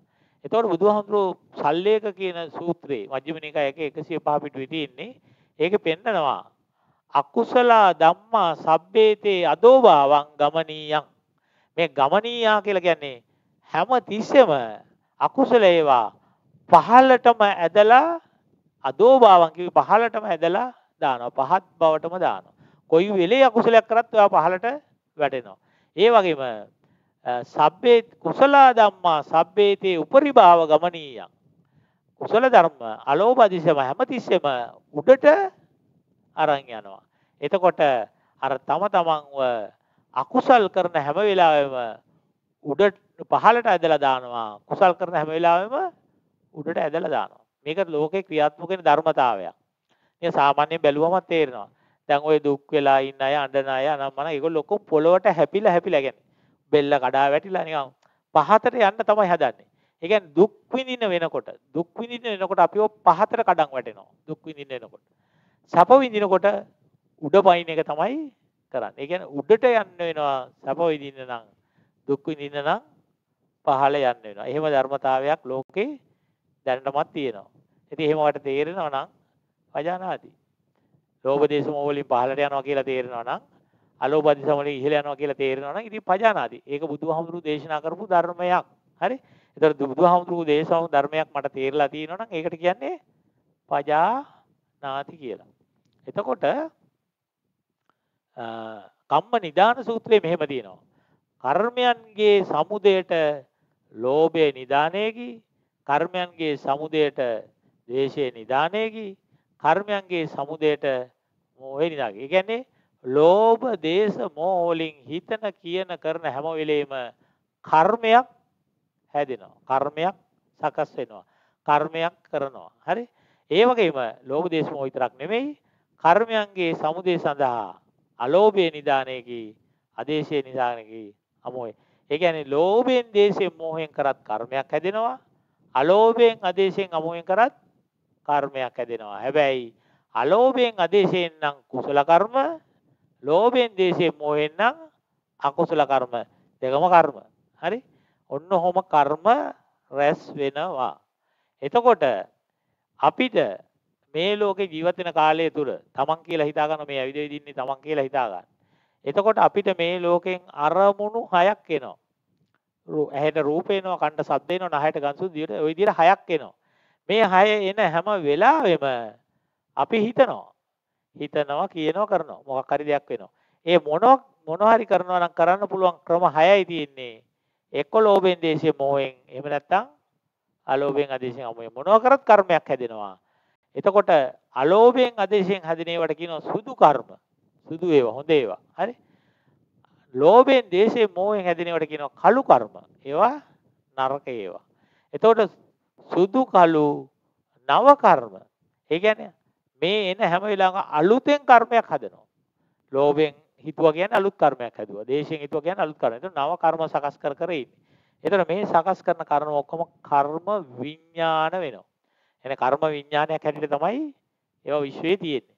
ඒතර මේ කර්ම විඥාන ටික කර්ම විඥාන ඇතුළේ විඥාන බීජයක්. කර්ම බීජ තමයි අපි මේ සකස් කරන්නේ. එතකොට මේ කර්ම බීජ ටික දවසක් යනකොට මෝරන්න පටන් ගන්නවා. මෝරලා කර්ම වල ඉඳලා ධර්ම කියන අවස්ථාවට ඇවිල්ලා ධර්ම වලින් ආරම්මන විදිහට ඇවිල්ලා ආපහු අපිටම ආපහු මට වෙනවා. මම්ම කරපු කර්ම මට වෙනවා. ඉතින් ආය නවත්තන්න හම්බ වෙන්නේ මං කරපුව මටම පළ දෙනවා. එතකොට ඒ පළ දෙනකොට ආයි මොකෝ කරන්නේ? නිකන් ඉන්නවා. අනේ කවන්න ඕනේ පළ දෙද්දාවේ. මං ඉන්නවා. එහෙම ඉන්නවද? නෑ පළ දෙන්න පළ දෙන්න ආයි කර්ම කරනවා. ආයි කර්ම කරනවා. එහෙම කර්ම කරනවා කර්ම ඵල දෙනවා. ආපහු කර්ම කරනවා කර්ම ඵල දෙනවා. දැන් ඔහොම ගින් ගින් නවතීද වැඩේ? නවතීද කවදාවත්? කවදාවත් නවතින්නේ නැහැ. අන්න අනන්ත සංසාර ගමනකට කොටු වෙනවා. කර්ම එනවා බීජ මෝරනවා මෝරුපුව ඵල දෙනවා ආයි කර්ම කරනවා ආයි කර්ම වෙනවා. මේ විදිහට ලෝකයෙන් රූප ශබ්ද ගන්ධ රස ස්පෘහ ධම්ම එනකොටත් කර්ම කරනවා. අපිම කරපු කර්ම විඥාන දිවිලා කර්ම බීජ වෙලා කර්ම ධම්ම ආරම්භල වෙලා අරමුණු හැටියට ඒව එනවා ඒවත් ආපහු කර්ම කරනවා. එතකොට අලුතෙන් කර්ම සකස් කර කර තමයි මේ සත්‍ය මේ ලෝකේ කටයුතු කරගෙන ඉන්නේ. අන්න එහෙම කර්ම සකස් කර කර ඉන්නව මිසක් මේ ප්‍රශ්නෙන් විසඳ මේක විසඳ ගන්න ඕනේ. මේක මාර භයානක ප්‍රශ්නයක්. මේ විදිහට මේ ලෝකෙ හිටියොත් මට කොහෙත් මොහොතක් වෙන්නේ නැහැ. මම මේකෙන් ඉක්මනට ගැලවෙන්න ඕනේ කියන අදහසක් කාටවත් එන්නේ නැහැ. ලෝකේ ඉන්න කාටවත් එන්නේ නැහැ. කල්යාණ මිත්‍ර සේවනයකින් සී සද්ධර්මය අහපු කෙනෙකුට විතරමයි මේක නම් හරියන වැඩක් නෙවෙයි මම මේකෙන් අයින් වෙන්න ඕනේ කියලා හිතෙන්නේ. හරි? අනිත් අය මේ කෙනෙක් දෙන්නෙක් ඉන්නවා එහෙම හිතිලා අයින් වෙන අය. ඒගොල්ලෝ තමයි සියදිවි හානි කරන්නේ. ඒගොල්ලෝ ඉතින් කාමත්‍යාවෙන් ලෝකෙ අයින් වෙනවා. නෙමෙයි තියෙන මොඩකමට සියදිවි හානි කරන්නේ. දැන් ඊටත් වඩා දරුණු ස්වභාවයකට යාව පත් වෙනවා අපරාධේ. ඉතින් අර ඉන්න තියෙන ප්‍රශ්නෙත් එක්ක මේකට වෙලා හිතන එක ලොකු අවුලක් නෑ. එයා දන්නේ ඒ ප්‍රශ්නෙත් එක්ක සීදි විහානි කරගත්තාම ඊටත් වඩා මහා ලොකු විනාශයකට යාව වැටෙනවා කියන එක දන්නේ නෑනේ. ඒක නිසා සීදි විහානි කරනවා. සමහර මොඩ අය. හරි. ටික දිනයි එහෙම කරන්නේ හැමෝම කරන්නේ. කොහොම හරි හැමෝටම මේ කර්ම විඥානවල බලපෑමට යටත් වෙනවා. එතකොට මේ කර්ම විඥාන හැදුවේ අපිම තමයි. ඉතින් මේ ටික වැඩ කරනකම් අනන්ත කාලයක් තව ඉස්සරහට මුලක් ඊට අපි ආවා මුලක් පේන්නේ නැති කාලයක ඉඳලා ඉස්සරහට අපිට මුලක් පේන්නේ නැති කාලයක් ඉවරයක් පේන්නේ නැති කාලයක දක්වා මේ විදිහට කර්ම රැස් කරමින් යන්න වෙනවා.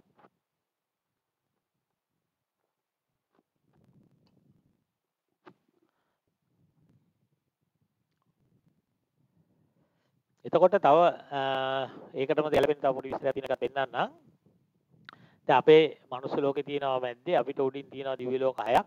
ළඟම තියෙන චාතුරු මහරාජික ඊට උඩින් තව තිස්සේ ආම තුස්ස නිම්මාරාති පරිනිමිත වසාරති ওই විදිහට උඩ පැත්තට. පහළ පැත්තට ගියොත් එimhe විනීපාත අසුර പ്രേත විසි තිස්සන් යෝනි අපාය දුක්ගති කියලා මේ විදිහට හතර අපාය තියෙනවා. මේකේ මනුස්ස ලෝකයේ ඇතුළු මනුස්ස ලෝකයෙන් උඩ පැත්තට හොඳ ගති හොඳ කර්ම 27ක් තියෙනවා. ඒ අලෝභයෙන් අදේශයෙන් අමෝහයෙන් හැදෙන ඒ ගති 27ට අදාළව තමයි අර ලෝක 27 තියෙන්නේ. පහළ පැත්තට නරක ගති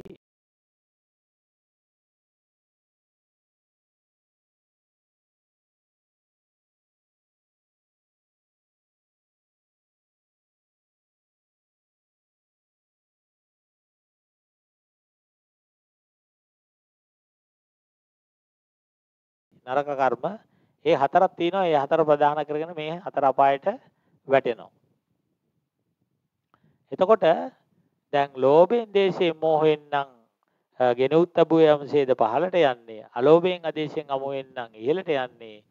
එහෙනම් දැන් මේ වෙලාව මේ මේ දක්වා කතා කරපු ටිකෙන් දැනගත්තා. ලෝභ දේශ මොහ වෙනකන් එච්චර හොඳ වැඩක් නොවන බව. අලෝභ දේශ මොන ප්‍රශ්නයක් නැහැ. ඉතින් හොදක් නෙවෙන්නේ නේද? එහෙම කියලා හිතලා අන්න දැන් අර හිතා ගන්න එකක් ඇවිල්ලා තියෙනවා. මම නම් ආයි ලෝභයෙන් දේශයෙන් මෝහෙන් හිතන්න කියන්න කරන්න යන්නේ නෑ. අලෝභයෙන් අදිශයෙන් අමෝහෙන්ම තමයි මම පුළුවන් තරම් හිතන්නේ කියලා අදිෂ්ඨානයක් කරගන්න ඕනේ. අන්න එතකොට තමයි ඒ අදිෂ්ඨානය කරගත්තාම තමයි අර අපි කිව්ව විදිහට අන්ලෝම ශාන්තියටපත් වෙන්න පාර හැදෙන්නේ. අපිට මේ ලෝභ දේශ මොහ ගැන තවදුරටත් දැනගන්න අවශ්‍ය සූත්‍රයකින් කීපයකින් තියෙන කරුණු කාරණා පොඩ්ඩක් මම මතක් කරලා දෙනවා. මේ බුදුරජාණන් වහන්සේ පෙන්වලා දීපු කාරණා වැලිත් මහණෙනි ලෝභයෙන් ලෝභයම උපදිනේ. දැන් ලෝභයෙන් නම් උපදින්නේ ලෝභයම තමයි. ද්වේෂයෙන් ද්වේෂයම උපදිනේ. ද්වේෂයෙන් උපදින්නේ ද්වේෂමයි. මෝහයෙන් මෝහයෙන් උපදිනේ. ඊළඟට පෙන්නනවා ලෝභයෙන් උපන් කර්මයෙන්, ද්වේෂයෙන් උපන් කර්මයෙන්, මෝහයෙන් උපන් කර්මයෙන් දෙවියෝ නොපෑනෙත්. මනුස්සයෝ නොපෑනෙත් යම්මදු අනෙකුත් සුගදිය නොබත් එකන්නේ ලෝබයෙන් දේශයෙන් මෝහයෙන් කරපු කර්මෝලින් නම් මනුස්සයෙක්වත් දෙවියෙක්වත් හැදෙන්නේ නෑ. ඒොඳට මතක තියාගන්න. අලෝබයෙන් අදේශයෙන් අමෝයෙන් කරොත් තමයි මනුස්්‍යයෝ දෙවියෝ හැදෙන්නේ. ලෝබජ දේශද මෝහෝජ කර්මයෙන් නිරය පැනෙයි තිරිසන් යෝනු පැනෙයි ප්‍රේත විෂය පැනෙයි අනෙකුත් සුගදියුතු පැනේ ගැන සුගතියට නං අලෝභ, සමෝහ දුගතියට නම් විනාශයට නම් ලෝභ දේශ මෝහ It's the astonishing bus crash plunging off a bridge caught on camera that shocked China. Security camera footage from on board, just released by Chinese authorities, shows the passenger shouting at the driver, smacking him with her cell phone, and the driver fighting back. You can hear passengers screaming as the driver veers left into oncoming traffic. A driver's dashboard camera recording as that bus collides with a passing car, falling 164 feet off a bridge over the Yangtze River. There were 15 souls on board, including the driver. No one survived. Divers still searching for two missing passengers. It's a story that's shocked the whole country since it happened on Sunday. Authorities. Bus එක යනකොට bus එකේ ඉන්න මිනිස්සයයි bus එකේ රියදුර අතර රණ්ඩුවක් යනවා. මොකක් හරි මම හිතන්නේ අර බයින්න ඕන තැන නවත්තන්න නැතුව ඇවිල්ලා මොකක් හරි වෙන්නේ නැති. හරි. ඊට පස්සේ බස් එකේ යන මිනිස්සයා අර තමන්ගේ අතේ තියෙන සෙල්ෆෝන් එකෙන් ගහනවා ඩ්‍රයිවර්ට. ගැව්වහම ඩ්‍රයිවර් මොකද කරන්නේ? ඩ්‍රයිවරුත් ගහනවා. ගහලා ඉවර වෙලා ආයා මේක බැලුවම පෙනෙයි ගහලා ඉවරලා මේ හොඳට කෙලින් අරන් යන බස් එකේ මෙහෙම එක සම්පූර්ණ වටයක් ස්ටියරින් එක හරවනවා. සම්පූර්ණ වටයක් කරකවනවා ඈ බලන්න It's the astonishing bus crash plunging off a bridge caught on camera that shocked China. Security camera footage from on board, just released by Chinese authorities, shows the passenger shouting at the driver, smacking him with her cell phone, and the driver fighting back. You can hear passengers screaming as the driver veers left into oncoming traffic. A driver's dashboard camera recording as that bus collides with a passing car, falling 164 feet off a bridge over the Yangtze River. කහපු ගමන් කෙලින්ම මේ කෙලින් යන එකේ රවුමක් වන. ඒතර කියන්නේ මේ මොකද්ද වෙන්නේ? දැන් කේන්තියට කොච්චර කේන්තිය දරුණුයිද කියලා කියනවනම් එයාට යා මොකද්ද කරන්න කියන එක ගැන අවබෝධයක් නෑ. මෙහෙම කෙලින් යන එක එකපාර මෙහෙම රවුමක්ම හැරෙව්වාම එතකොට තමයි අර කෙලින්ම ඇරවිලා පාලමේ ගැට්ටත් කඩාගෙන කෙලින්ම මේකට යන්නේ. එතකොට අර කේන්ති ගියාට පස්සේ කේන්ති ගියාට පස්සේ කරන එක ගැන කිසිම කල්පනාවක් එන්න ඕන විනාශයක් කරන්න පුළුවන්. කේන්ති ගියාට පස්සේ. දැන් ගොඩාක් ඔය අපරාධ වෙලා තියෙන්නේ කේන්ති කියලා තමයි. එතකොට මේ ද්වේෂය කියන්නේ ඒ වගේ මහ භයානක එකක්. හරි? වෙලාවට තාම ඉතින් ඔයගොල්ලෝ එහෙම කේන්ති කියලා මොකක් හරි අපරාධයක් කරලා නැතුව ඇති. හරි තාම. නමුත් ඒ වගේ එකක් වෙන්න පුළුවන්. මහා භයානක එකක් තමයි දේශය කියලා කියන්නේ. ඒකට බුදුහාමුදුරු මෙහෙම පෙන්නනවා. තවද මානකයේ මෙලව ස්ත්‍රියක් වේවයි පුරුෂයෙක් වේවයි කිසිවෙක් කිපෙන සුළු වූයේ. දැඩි ආයාස බහුල කොට ඇත්තේ වේද. මද බසකොදු කියන ලදුවේ කෝපයෙන් ගැටේද කිපේද විරෝධයට පැමිණේද තද බවට පැමිණේද කෝපයත් ද්වේෂයත් නොසතුටත් පහළ කරේද ඒ පුද්ගල මෙසේ පුරුණ ලද මෙසේ සමාදන් කොට ගන්නා ලද කර්මයෙන් කය බිඳී කාබුන් කියලා කියන්නේ කය බිඳිනවට කය බිඳී මරණින් මතු අපාය දුර්ගති විනීපති වූ නිරයට පැමිණේ. දැන් එහෙම අයට මොකද වෙන්නේ? ඔය තරහෙන් වැඩ කරන හැමෝටම වෙන දේ තමයි කය බිඳී මරණින් මතු කොහෙටද යන්නේ? අපාය දුර්ගති විනීප. කෙලිම බුදුහාමුදුරු සූත්‍ර දේශනාව තියෙනවා. එහෙම වැඩ කරොත් ඒ කියන්නේ ද්වේෂය කියන්නේ එහෙම තමන්ව පහලටම ඇදලා දාන මහා භයානක එකක් කියලා දකින්න ඕනේ. එතකොට මේ ලෝභයෙන්, දේශයෙන්, මෝහයෙන් කරන වැඩවලට තමයි ওই සිද්ධිය ඕම වෙන්නේ. මේ තියෙන්නේ මේ ෆොටෝ එකක් ගත්ත එකක් හත් දවස් දානෙකෙදි. හත් දවසේ දානේ ගත මෙන්න මෙතන ඉන්න එක්කෙනෙක් පේනවද දන්නේ නැහැ. පේනවද? ආ එක්කෙනෙක් ඇවිල්ලා ඉන්නව නේද? අන්න ඒ ඇවිල්ලා ඉන්නේ ඉතින් ලෝභයෙන් දේශයෙන් මොහෙන් වැඩ කරලා පහළ ගිය එක්කෙනෙක් තමයි. හත් දවස් දාන්නට බණ අහන්න දන්නේ නැහැ ඇවිල්ලා තියෙන්නේ කොහොම හරි ඉන්න විදිය අනුව නම් තේරෙන්නේ හොඳ තැනක ඉන්නව වෙන්න බෑ තේරෙනව නේද? හොඳ තැනකට ගියා වෙන්න බෑ මේකත් කැමරාවට අහුවෙච්ච එකක්. මේ තියෙන මේම එකක් මෙතනත් ඇවිල්ලා ඉන්නවා ඒක නම් හිතා ගන්න බෑ හොඳයිද නරකයිද කියලා කොහොම හරි ඇවිල්ලා ඉන්නවා බණ අහන්න හරි. බණ අහන්න එනවා නම් හොඳයි ඉතින් හරි. එතකොට මේ කම්ම නිදාන සූත්‍රයේ පෙන්නනවා අලෝභජ කර්මයෙන් අදේශිත කර්මයෙන් අමෝජ කර්මයෙන් නිරය නොපැනෙයි. තිරිසන් යෝනි නොපැනෙයි. പ്രേත විෂය නොපැනේ. අනෙක් යම්කිසි දුගතියුදු නොපැනෙති. ඒක පැහැදිලිවම කියනවා අලෝභයෙන් අදේශයෙන් අමෝයෙන් නම් තිරිසන් අපායට പ്രേත විෂයට එහෙම අපාවලට යන්නේ නෑ. අලෝභ අදේශ අමෝජ කර්මයෙන් දෙවියෝ පැනෙත්, මිනිස්යෝ පැනෙත් යම්බදු අනෙකුදු සුගතිය නම් සුගතියුත් පැනෙත්. ඒ කියන්නේ අලෝභයෙන් අදේශයෙන් අමෝයෙන් නම් අනිවාර්යයෙන්ම උපතක් ලැබෙන්නේ මිනිසෙක් හරි දෙවියෙක් හරි වෙලා. එතකොට දැන් තව එකක් හිතා ගන්න පුළුවන්. අලෝභයෙන් අදේශයෙන් අමෝහෙන් කටයුතු කරපු නිසා තමයි මේ ඉන්න හැමෝම මේ පාර මේ විදිහට මිනිස්සෙක් හැටියට ඉපදිලා තියෙන ගිය පාර චුතිචිත වෙලේ. ගිය පාරක කවදාරි දවසක සුත වෙන වෙලාව ඊට කලින් හිටපු භවෙන් සුත වෙන වෙලාවේ අලෝභයෙන් අදේශයෙන් අමෝහෙන් වැඩ කරලා තමයි අද මිනිස්සෙක් හරි දෙවියෙක් හරි වෙලා තියෙන්නේ. දැන් මේ දෙවියොත් ඉන්නවා. මේ දෙවියන්ගේ ෆොටෝ එකක් මේක නම් ටිකක් පේනවා මදි.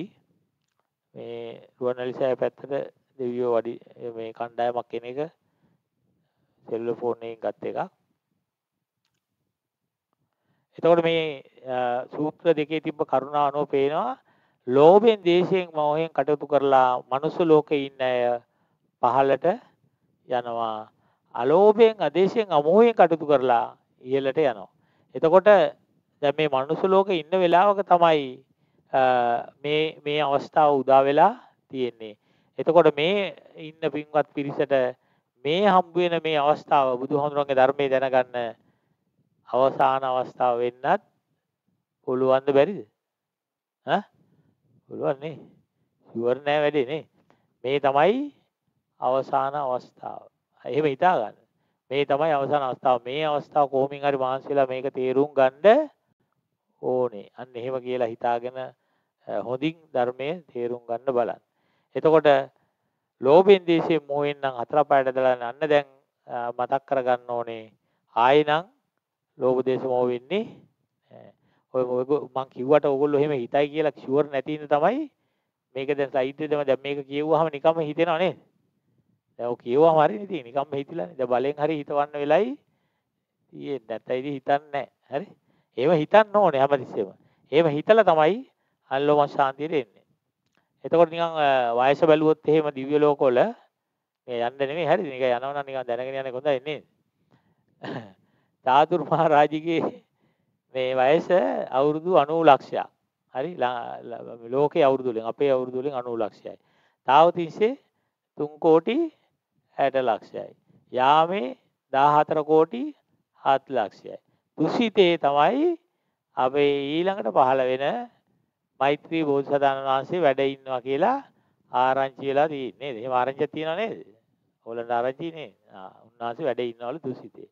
එතකොට ඒකේ වයස 57 කෝටි 60 ලක්ෂයයි. දැන් දැන් 57 කෝටි 60 ලක්ෂයයි ඔය කතාව අපිට කිව්ව බුදුහාමුදුරු මීට අවුරුදු 2500කට උඩදී හරි.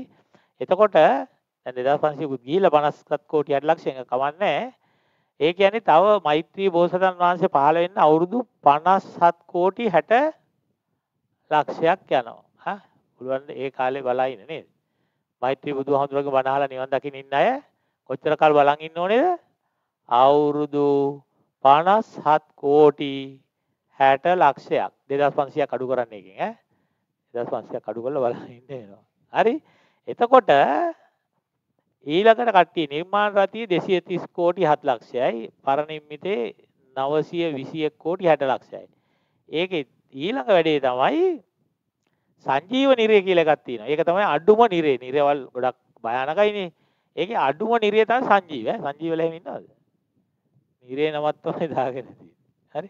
එතකොට මේ සංජීව නිරේ නිරේ ආයුෂ අවුරුදු කෝටි 16425 කෝටි 16425යි මෛත්‍රී බුදුහාමුදුරුවෝ පාර වෙන්නේ අවුරුදු කෝටි 57කින් කෝටි 57කින් මෛත්‍රී බුදුහාමුදුරුවෝ ඉන්නේ මේ පාර මැරිලා අපායට ගියාම අපායෙන් උඩට එන්න අවුරුදු කෝටි 16425ක් යනවා හරි එතකොට 57 කෝටියකින් මෛත්‍රී බුදුහාමුදුරුවෝ පහළ වෙනවා. හම්බු වෙයිද? ඈ? හම්බු වෙයිද? නෑ. දැන් 57 කෝටියද ලොකු කෝටි 16425ද ලොකු? ඉතින් මෛත්‍රී බුදුහාමුදුරන්ගෙන් නිවන් දකින්න ඉන්න එක මාර නෝඩක් කරකමන්නේ. ඈ? ගොඩාක් හොඳටම නෝඩ තියෙන අය තමයි මෛත්‍රී බුදුහාමුදුරන් නිවන් දකින්න බලන් ඉන්නේ. මෛත්‍රී බුදුන් දැක නිවන් දකින්න හදන. මෛත්‍රී බුදුන් දැක නිවන් දකින්න පුළුවන් මේකෙන් බැරි වුණොත් හැබැයි ඊට ඉස්සෙල්ලා මේ තියෙන තියෙන බුද්ධ ශාසනයෙන් නිවන් දකින්න එක හොයාගන්න උත්සාහ කරන්න. ඔය පස්සට කල් දාලා නිකන් අපරාධේ අනාථ වෙන්න එපා. මං කිව්වේ ඒකයි මේ පාර වෙන්න පුළුවන් මේ හම්බ වෙන අවසාන අවස්ථාව.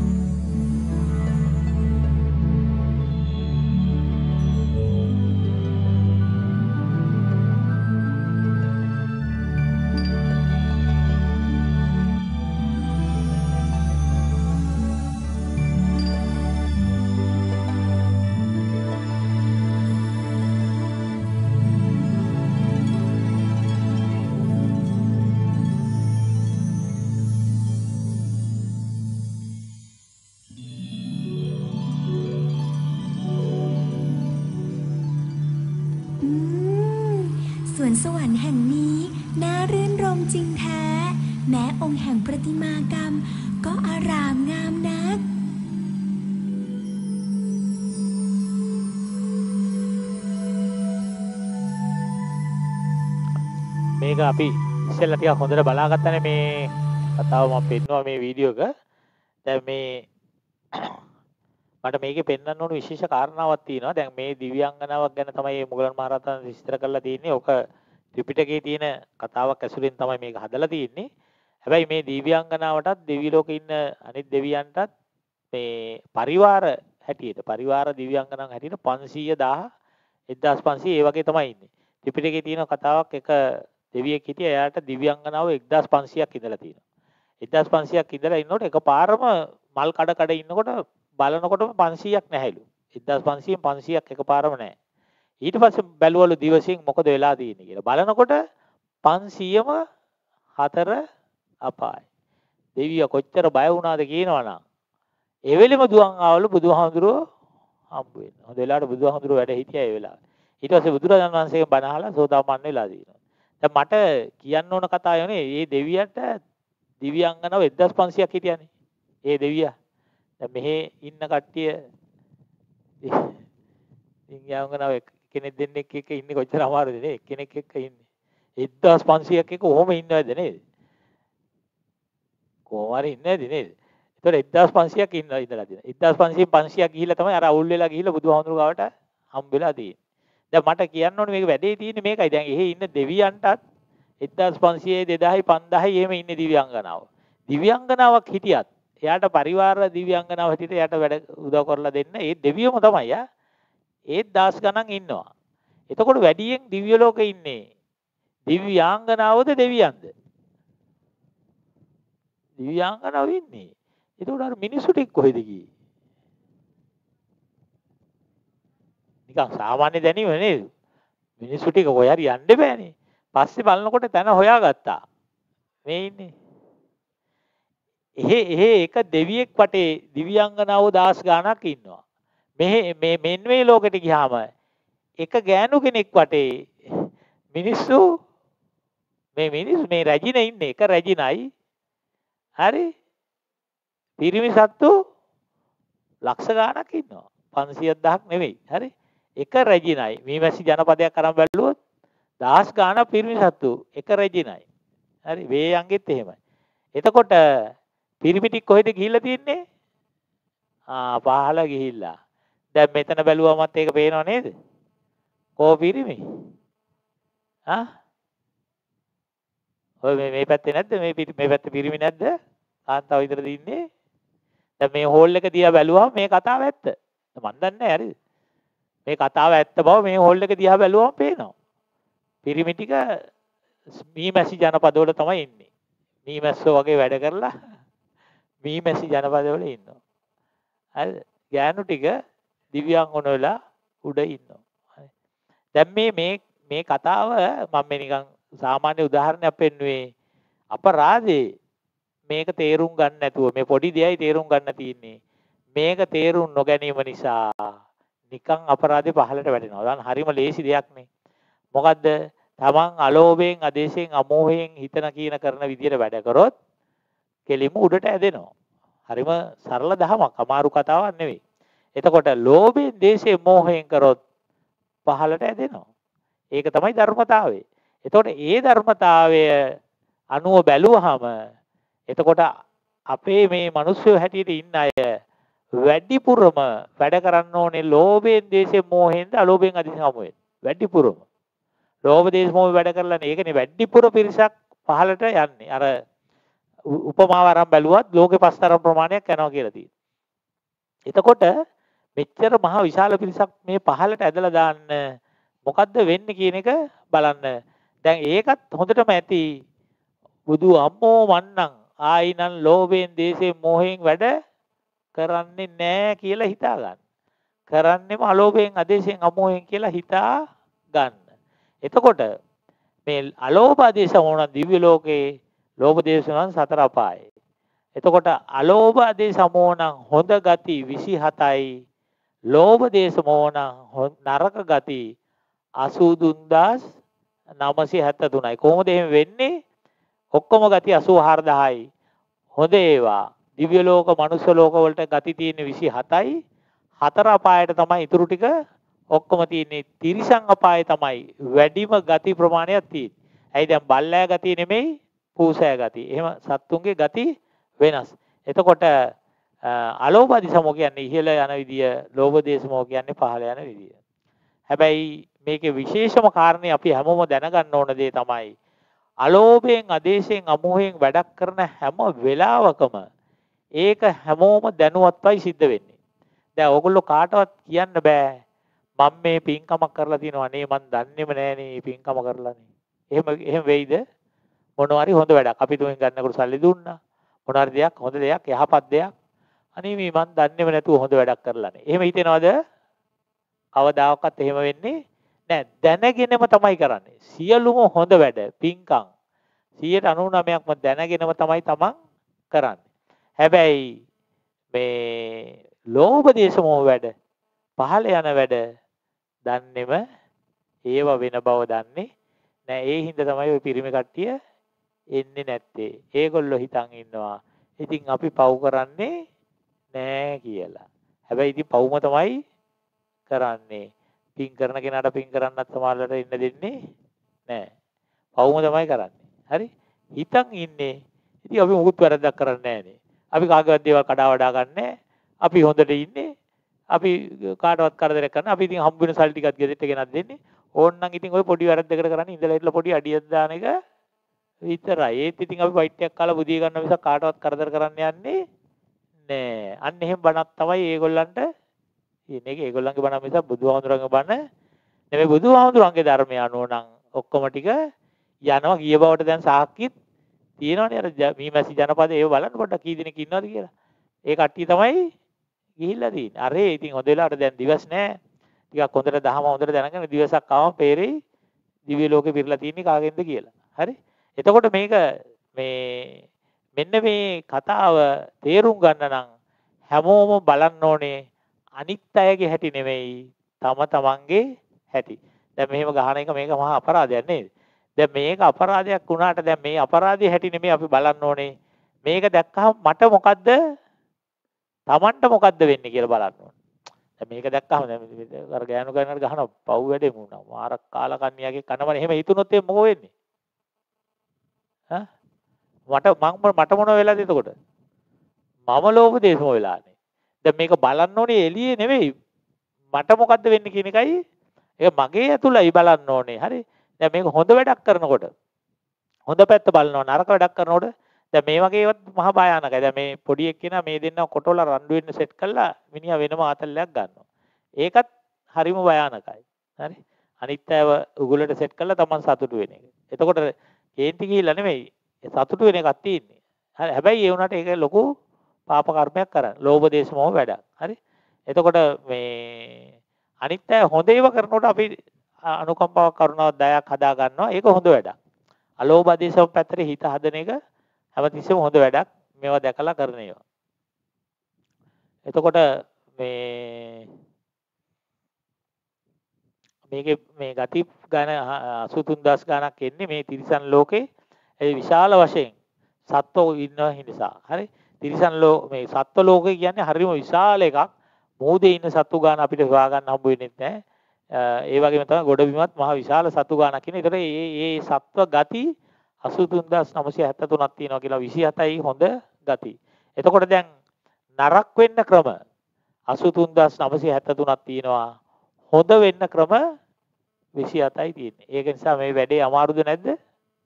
වැඩේ අමාරුයි. හොඳ වෙන්න 27යි නරක වෙන්න 83900. ඒ පොඩ්ඩ ඇත්ත මෙහා මෙහා වෙච්ච ගමන් මේ 83973න් එකට තමයි තමන්ව වැටෙන්නේ. ඒක නිසා මේ වැඩේ හරිම භයානකයි.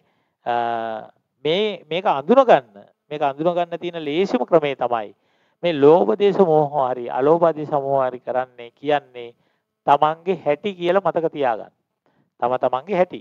දැන් මගේ හැටි තමයි ඔය කියලා තියෙන්නේ. සමහර වෙලාවට මගේ හැටි ලෝභ දේශ මොහ පැත්තේ තියෙන්නේ. සමහර වෙලාවට මගේ හැටි අලෝභ දේශ මොහ පැත්තේ තියෙන්නේ. දැන් මගේ හැටි තමයි ඔය කතා කරන්න කියන එක මතක් කරන්න. මේක හරියට තේරුම් ගන්න පොඩි උදාහරණයක් කියන්න පුළුවන්. මෙන්න මේ කතාව හැමෝම දන්න එකක්. සාමාන්‍යයෙන් බෞද්ධ අය හැමෝම වගේ දන්නවා මේ කතාව. දන්නවා කියන්නේ ඒගොල්ලෝ එහෙම තමයි ඉන්නේ. දැන් ඒගොල්ලෝ මෙන්න මෙහෙම එකක් විශ්වාස කරන් ඉන්නවා. මට හොඳක් කෙරුවොත් මම හොඳක් කෙරුවොත් තමයි මටත් කවදා හරි හොඳක් වෙන්නේ. දැන් මම නරකක් කෙරුවොත් මටත් කවදා හරි නරකක්මයි වෙන්නේ. අන්න ඕක ඔන්නෝම දන්නවා කියලා කියන්නේ. ඕකට කියනවා කර්මය සහ කර්මයේ ඵලය ගැන විශ්වාසයෙන් කටයුතු කරනවා කියලා. දැන් මෙන්න මේ විශ්වාසය නිසාම සාමාන්‍යයෙන් මට හිතෙන ඕනම එකක් මම කරන්න යන්නේ නැහැ. ඒක බරපතල නරක වැඩක් නම් සමහර මම නොකර ඉන්න උත්සාහ කරනවා.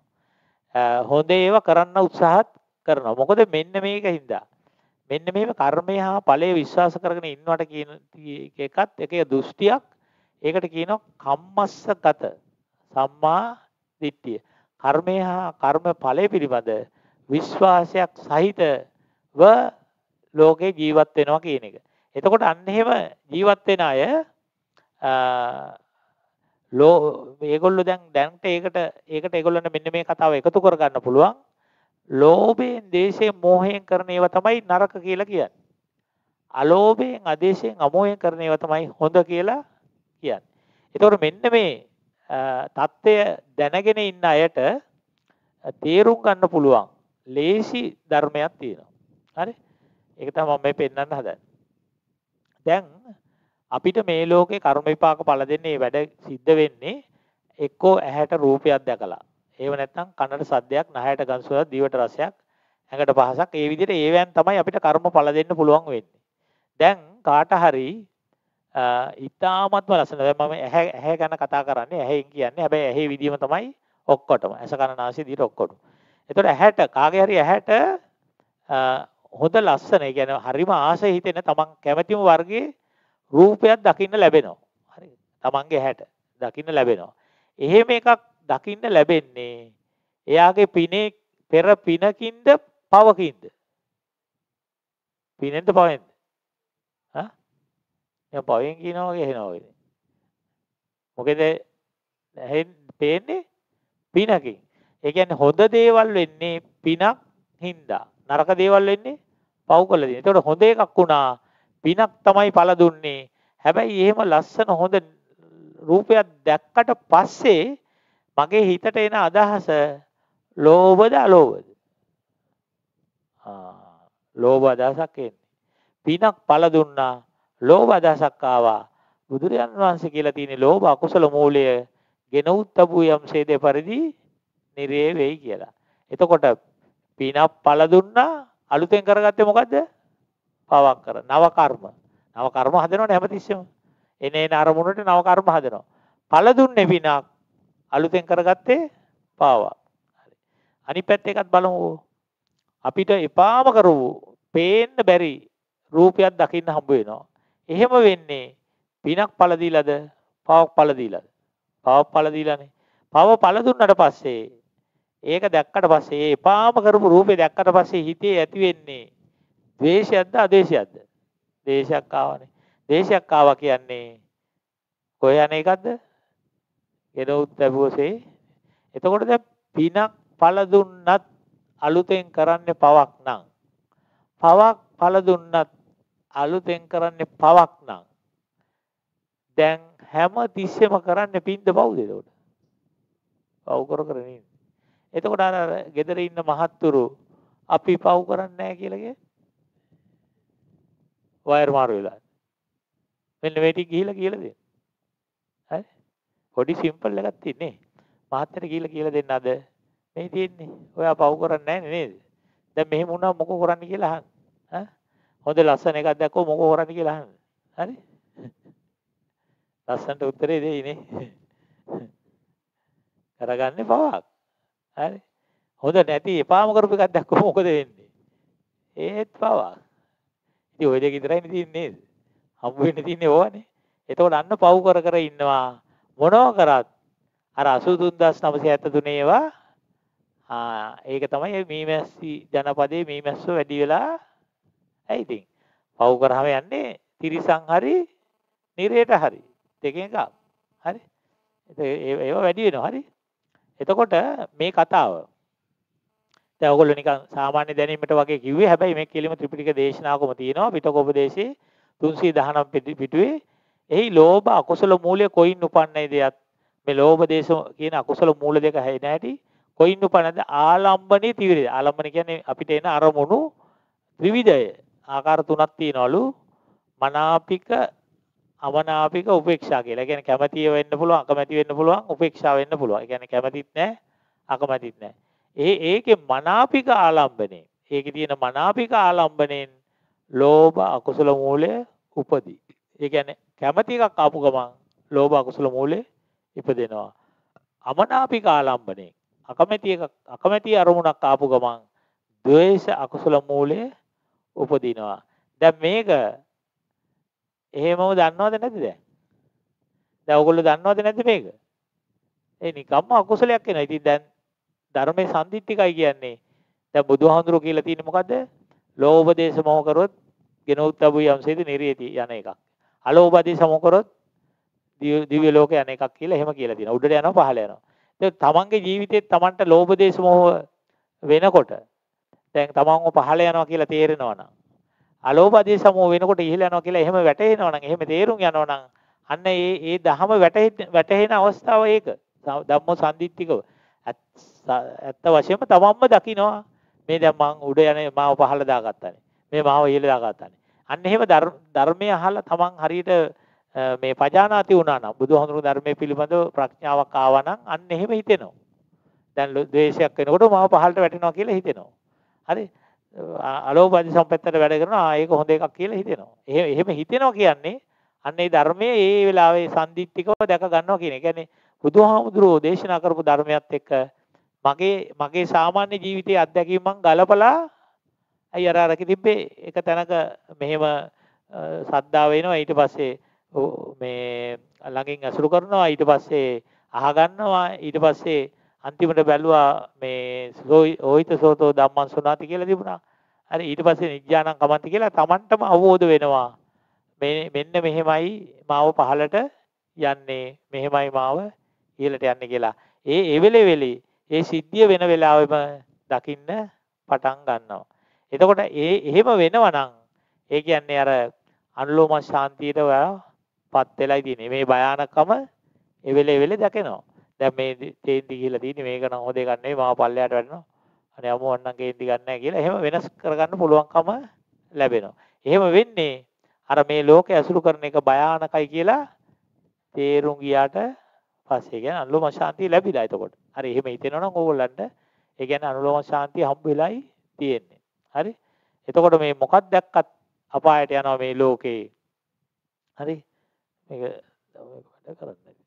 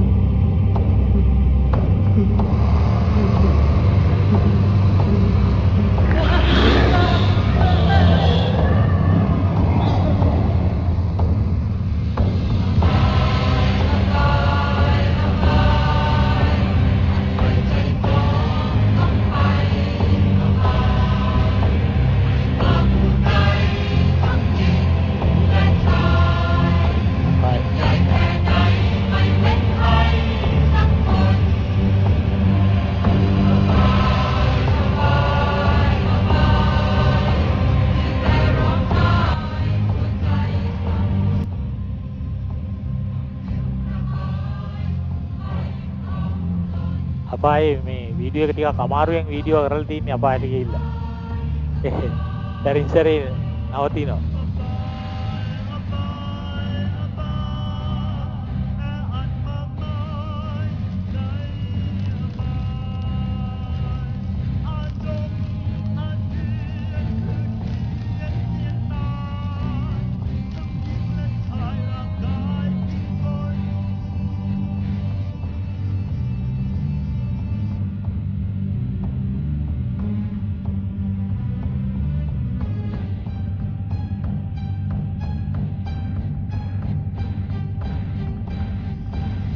වීඩියෝ එකේ තියෙන ඒවා මේවා මේ මම හිතලා හදපුවා නෙවෙයි.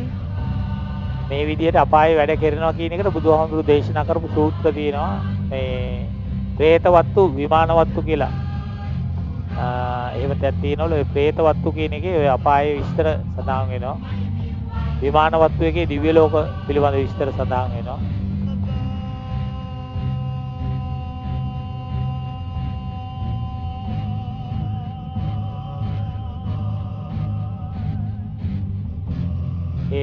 අපායට යන ඔක්කොම යම රජුරෝ ගාවට එක්කන් යනවා කියන එක පැහැදිලි කරලා තියෙනවා. යම රජුෝ ගියාම යාට බලනවලු කතා කරලා යාට එක්ක එයා කරපු පව් මතක් කරලා දෙනවලු. එහෙම නැත්තම් යාව බේරන්න උත්සාහ කරන්න කරපු පින් මොනවද කියලා අහනවලු. නමුත් අර ඒ පාප කර්මයේ තියෙන බලවත්කම නිසා එයාට පිනක් කරපු එකක් ගැන සිහිපත් කරගන්න බැරි වෙනවලු. එතකොට පව් කරපු ඒවම තමයි ඇද්දිලා එන්නේ. ඊට පස්සේ මේ ඒ ඒ කරපු පවට අදාළ දඬුවම් ලබා දෙනවා.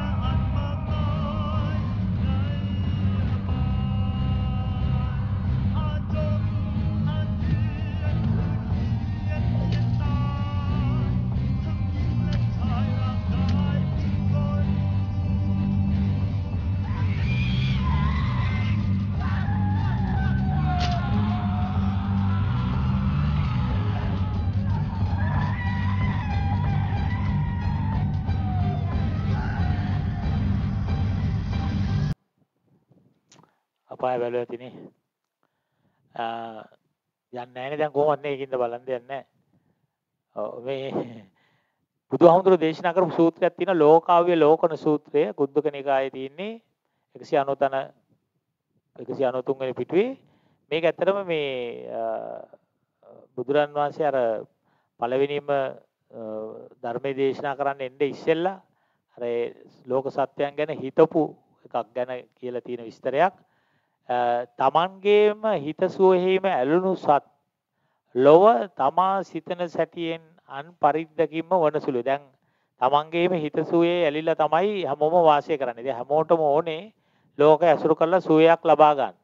ඒකට ඉතින් එක එක විදිහේ ක්‍රම හැමෝම අනුගමනය කරනවා. හැබැයි ඒගොල්ලෝ හිතන් ඉන්නේ මේ ලෝක ඇසුරු කරාම Tamanට මොකුත් ප්‍රශ්නයක් වෙන්නේ නැහැ කියලා. දැන් ලෝකේ ඇසුරු කරන්න පුළුවන් ක්‍රම තුනමයි තියෙන්නේ. එක්ක එක්ක රාගෙන්, එක්ක ද්වේෂයෙන්, එක්ක මොහයෙන්. රාගෙන් ඇසුරු කරන හැම වෙලෙම ලෝභ අකුසල මූලය හැදෙනවා. ද්වේෂයෙන් අසුරු කරනකොට ද්වේෂ අකුසල මූලය, මෝහය මෝහ අකුසල මූලය. ලෝකේ අසුරු කරන හැම වෙලෙකම අකුසල මූලයක් තමයි රැස් වෙන්නේ. ඒක නිසා මම හිතන දේ නෙමෙයි මෙතන සිද්ධ වෙන්නේ. දැන් මම හිතනවා මේකෙන් ලොකු දෙයක් මම ලබා ගත්තා කියලා ලෝකේ අසුරු කරලා මහා වටින දේවල් ගොඩක් මට හම්බුණා කියලා මං හිතනවා. නමුත් හම්බ වෙනවා තමයි එක එකව හම්බ වෙනව නැත්තේ නෑ. හරි හොඳට සුවයක් හම්බ වෙනවා. සමාජ සප විඳින්න හම්බ වෙනවා. ඒක ඇත්ත. හැබැයි ඒ වුණාට ඒක වෙන අතරතුරේ අන්න මහා අකුසලයක් සිද්ධ වෙනවා. ලෝභයෙන්, ද්වේෂයෙන්, මෝහයෙන් කටයුතු කිරීම නිසා. අන්න ඒ ගැන අපි තවත් සූත්‍ර දේශනා වලින් ඒ අකුසල් හැදෙන්නේ කොහොමද? කොහොමද ඒ වගේ දෙයක් වෙන්නේ කියන එක කතා කරමු. ඒක නිසා බුදුරන් වහන්සේ පෙන්නලා දීලා තියෙනවා ලෝවැසිතෙම මඤ්ඤණා වශයෙන් කල්පනා කොට ගන්නා ලද අභිවෘද්ධි ආශායෙන් මඤ්ඤණා කියලා මඤ්ඤණා කියන වචනේ පාවිච්චි කරලා තිනවා මඤ්ඤණා කියලා කියන්නේ සාමාන්‍ය අපි කියන්නේ ඔකට මඤ්ඤං කියලා. අහලා තියෙනව නේද? මඤ්ඤං කියලා කියන්නේ.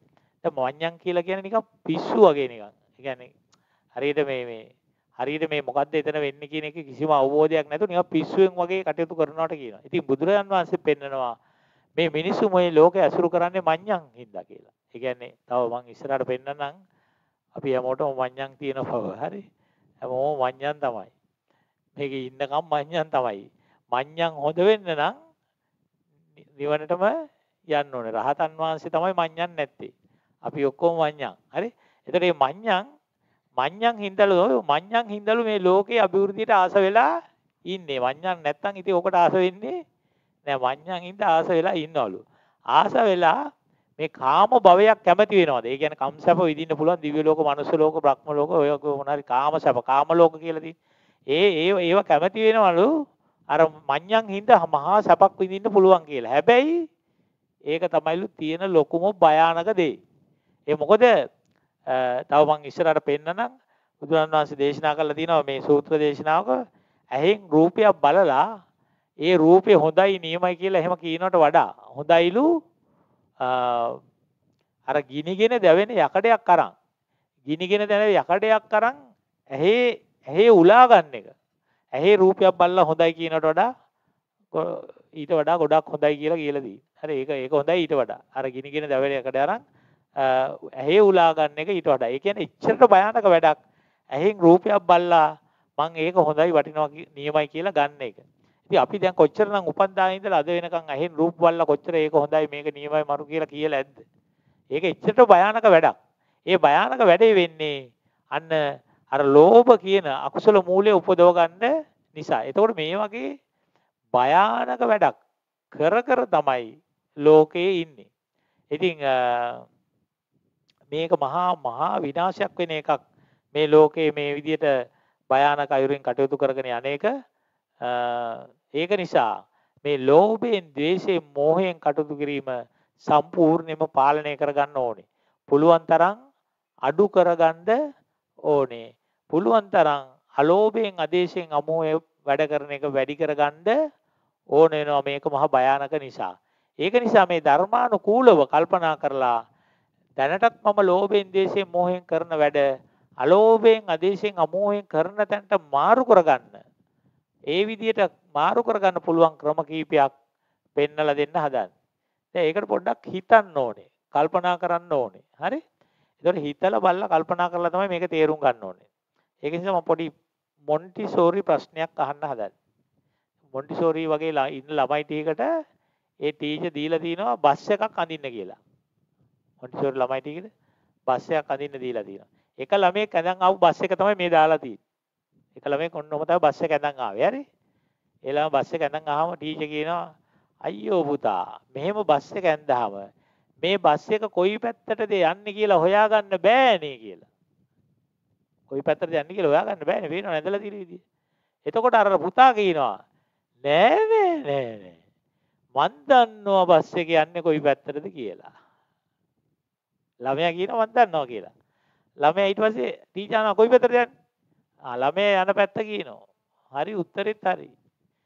දැන් ඉතින් ඒ ළමයාගෙන් අහපු ප්‍රශ්නේ මං අහ කොයි පැත්තට යන බස් එක? එල් අකුර දාලා තියෙන පැත්තටද ආර් අකුර දාලා තියෙන පැත්තටද? නිකන් එහෙම නිකන් කනාපල්ල එකක් එල් හරි ආර් හරි කියලා හරියන්නේ නැහැ මං අහනවා ඇයි එහෙම කියන්නේ කියලා. හිතන්න ඕනේ ඈ හිතුවාම එනවා. අර මොන්ටිසෝරි ළමයා වගේ හිතන්න ඕනේ ඈ. බුදුහාමුදුරන්ගේ ධර්මය අහලා ප්‍රඥාවෙන් හිතන්න එපා. මොන්ටිසෝරි ළමයා වගේ හිතුවාම හරි. ඈ කොයි පැත්තද යන්නේ? ඒක තමයි අහන්නේ මං. ආර්ද එල්ද? ආර්ද? ආ ආර් කියනවා හරි. ඇත්තටම ආර් පැත්තට තමයි යන්නේ. ඇයි එහෙම කියන්නේ? මොකද්ද හේතුව? ඇහුන්නේ නැහැ මට. හා? නෑ මොකද කියන්නේ ඇහුන්නේ නැහැ. මට ඇහෙන්නේ නැහැ උත්තරේ. ඈ ඈ? කිව්වේ නැහැ උත්තරේ නෑ. ආර් පැත්තට තමයි යන්නේ. ඇයි එහෙම කියන්නේ? දැන් ওই කොටු කොටු ඇඳලා තියෙන්නේ මොනවද? බස් එකේ මොනවද කොටු කොටු ඇඳලා තියෙන්නේ? ජැනෙල්. දොරකෝ. බස් යන දොරක් තියෙන්නේ යන්න නේද? දොරකෝ. දොර කොයි පැත්තේද? ආ දොර එහා පැත්තේ නම් දොර තියෙන ඒ පැත්තේ නම් කොයි පැත්තටද යන්න ඕනේ? දැන් බස් වල පාරේ යනකොට බස් එකේ අපි මෙහෙම යනකොට දොර කොයි පැත්තට තියෙන්නේ? අපි පැත්තට තියෙනවා නම් යන්නේ මෙහාට. දොර තියෙන්නේ මේ පැත්තේ නම් යන්නේ ආර අකුරු පැත්තට. අන්න දැක්කනේ මොන්ටිසෝරි මොලේ නේද? මොන්ටිසෝරි ළමයා දන්නවා. දැන් ඒක මොන්ටිසෝරි කියලා එහෙම කිව්වට පොඩි ළමයාගේ ප්‍රශ්නයක් තමයි මේක. නෑ මම ඒක කිව්වේ මේ ප්‍රශ්නේ දැම්මෙම දැන් එහෙම නිකන් එහෙ මොකුත් කරලා හරියන්නේ නැහැ හිතලා බලන්න ඒ කියන්නේ තව එහාට තව එහාට තව එහාට හිතන්න ඕනේ. බුදුහාමුදුරු ධර්මයේ කියන්නේ එහෙම එකක්. හිතන්න ඕනේ තව ටිකක්. දැන් මේ කියන කාරණේ විතරක් නිකන් ටක් ගාලා ගිරෙක් වගේ ඕක දැනගත්තා කියලා හරියන්නේ එහෙම හරියන්නේ නැහැ. යම්කිසි කාරණයක් කියලා දෙනවා තමයි. ඒ කියලා දෙන කාරණේ අසුරු කරගෙන මම තව ටිකක් තව ටිකක් තව ටිකක් තව ටිකක් ගැඹුරට හිතන්න ඕන. අන්න එහෙම හිතනකොට තමයි මට ධහම අවබෝධ වෙන්නේ. ඒකට කියනවා චින්තාමය ප්‍රඥාව කියලා. මෙහෙම අහගන්නවා කාරණා ටික අහගන්න එකට කියනවා සුතමය ප්‍රඥාව. සුතමය ප්‍රඥාව අරගෙන හිතන්න ඕනේ. එතකොට චින්තාමය ප්‍රඥාව. එතකොට තමයි මගඵල ලැබෙන්නේ. නිකන් ඔය ආන් හිටියට වැඩේ හරියන්නේ වැඩ තියනවා කරන්න. හිතන්න තියෙනවා. ඒක නිසා මේක හිතන්න මම මේකට පොඩි උදාහරණයක් දුන්නේ. දැන් නිබ්බේධික කියලා සූත්‍රයක් තියෙනවා. චේතනාහම් භික්කවේ කම්මං වදාමි. හැමෝම අහලා තියෙනවද නැද්ද? චේතනාව තමයි කර්මය කියලා. දැන් ඉතින් ඕක හිතන්නයි යන්නේ ටිකක් ඇතුළට හරි. චේතනාව තමයි කර්මය වෙන්නේ. හරි. එතකොට මේ මේ කතාවෙන් තව මේ සූත්‍රයේම තව වැදගත් කොටස් වර්ගයක් තියෙනවා. මෙන්න මේක අපිට පස්සට ඕන එකක් තියෙනවා. කම්මානං නිදාන සම්භව. කතමෝච භික්කවේ කම්මානං නිදාන සම්භව. කර්මයට නිදානේ මොකද? ඒ කියන්නේ කර්මයක් වෙන්න තියෙන නිදානම හේතුව තමයි පස්සෝ භික්කවේ කම්මාන නිදා. ඒ කියන්නේ ස්පර්ශයේ ඉඳයි. පස්ස කියන්නේ ස්පර්ශය. ස්පර්ශයෙන් තමයි ඔය කර්ම කර්මයක් හදාගන්න මුලම හේතුව තියෙන ස්පර්ශය. හරි? ඒක අපි ඉතින් ඉස්සරහට ඕන වෙනවා. අපි එතකොට ඒක කතා කරමු. එතකොට මේකේ තව වැදගත් කාරණාවක් තියෙනවා මේ පෙන්නලා දෙන්න. කර්මයේ වේමත්තතා. කර්මයේ වේමත්තතා කියලා එකක් තියෙනවා.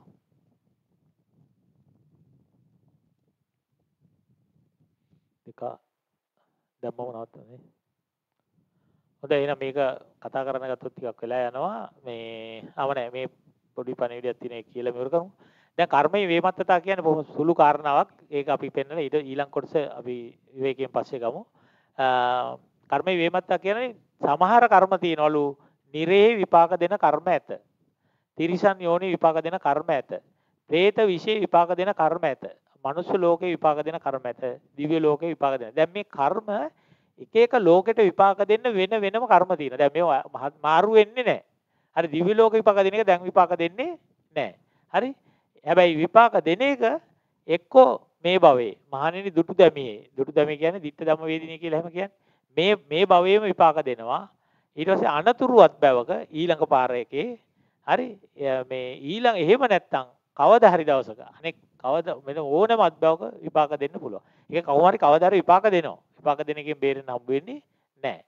හැබැයි එක එක තැන්වලට විශේෂ වූ කර්ම තියෙන නිසා දැන් අපි වැරදි අදහසක් ගන්නවා. සමහරට ඔයගොල්ලන්ගේ ගමේ වෙන්න පුළුවන්, අහල පාල වෙන්න පුළුවන්. එහෙම නැත්නම් මේ රටේ දන්න කියන අය වෙන්න පුළුවන්.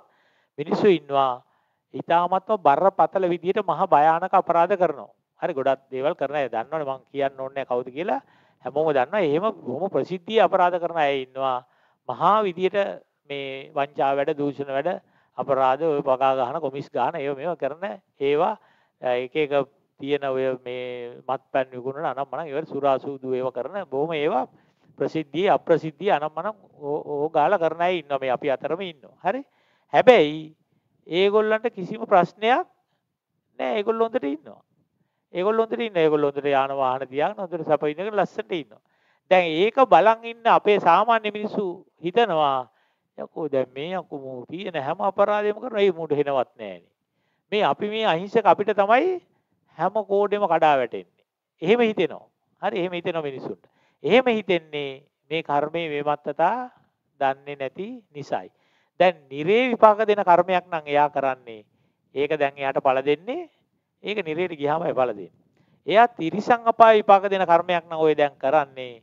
දැන් ඒක පළ දෙන්නේ. නෑ ඒක තිරිසං වුණාට පස්සේ පළ දෙන්නේ. හරි එතකොට പ്രേත વિશે പ്രേත කර්මයක් නම් කරන්නේ. ඒක දැන් පළ දෙන්නේ. නෑ ඒක പ്രേත ලෝකේ උප්පත්තිය ලබලයි පළ දෙන්නේ. මනුස්ස ලෝක විපාක දෙන කර්මයක් එයා කරනවා නම් ඒක දැන් ඵල දෙයි. හරි? එතකොට අන්න එහෙම මේකේ කර්ම ක්‍රියාත්මක වෙන්න ඒ අවශ්‍ය පසුතලයේ තියෙන්න ඕනේ. ඒ ඒ ලෝකෙට අදාළ කර්ම ඒ ලෝකෙ ගියාම තමයි ඵල දෙන්නේ. ඒක නිසා තමයි සෝතාපන්න වෙච්ච ආර්ය ශ්‍රාවකෙක් හතර අපායට යන්නේ නැති නිසා තමයි හතර අපායේ ගියොත් ඵල දෙන්න තියෙන කර්ම වලින් එයා නිදහස් වෙන්නේ. කර්ම ටික තියෙනවා. කර්ම ටික තියෙනවා. කර්ම ටික කැන්සල් වෙන්නේ නැහැ. කර්ම ටික තිබ්බට වැඩක් නැහැ. අර අදාළ පුද්ගලයා යන්නේ නැති නිසා අර කර්ම ටිකට ඵල දෙන්න විදියක් නැහැ.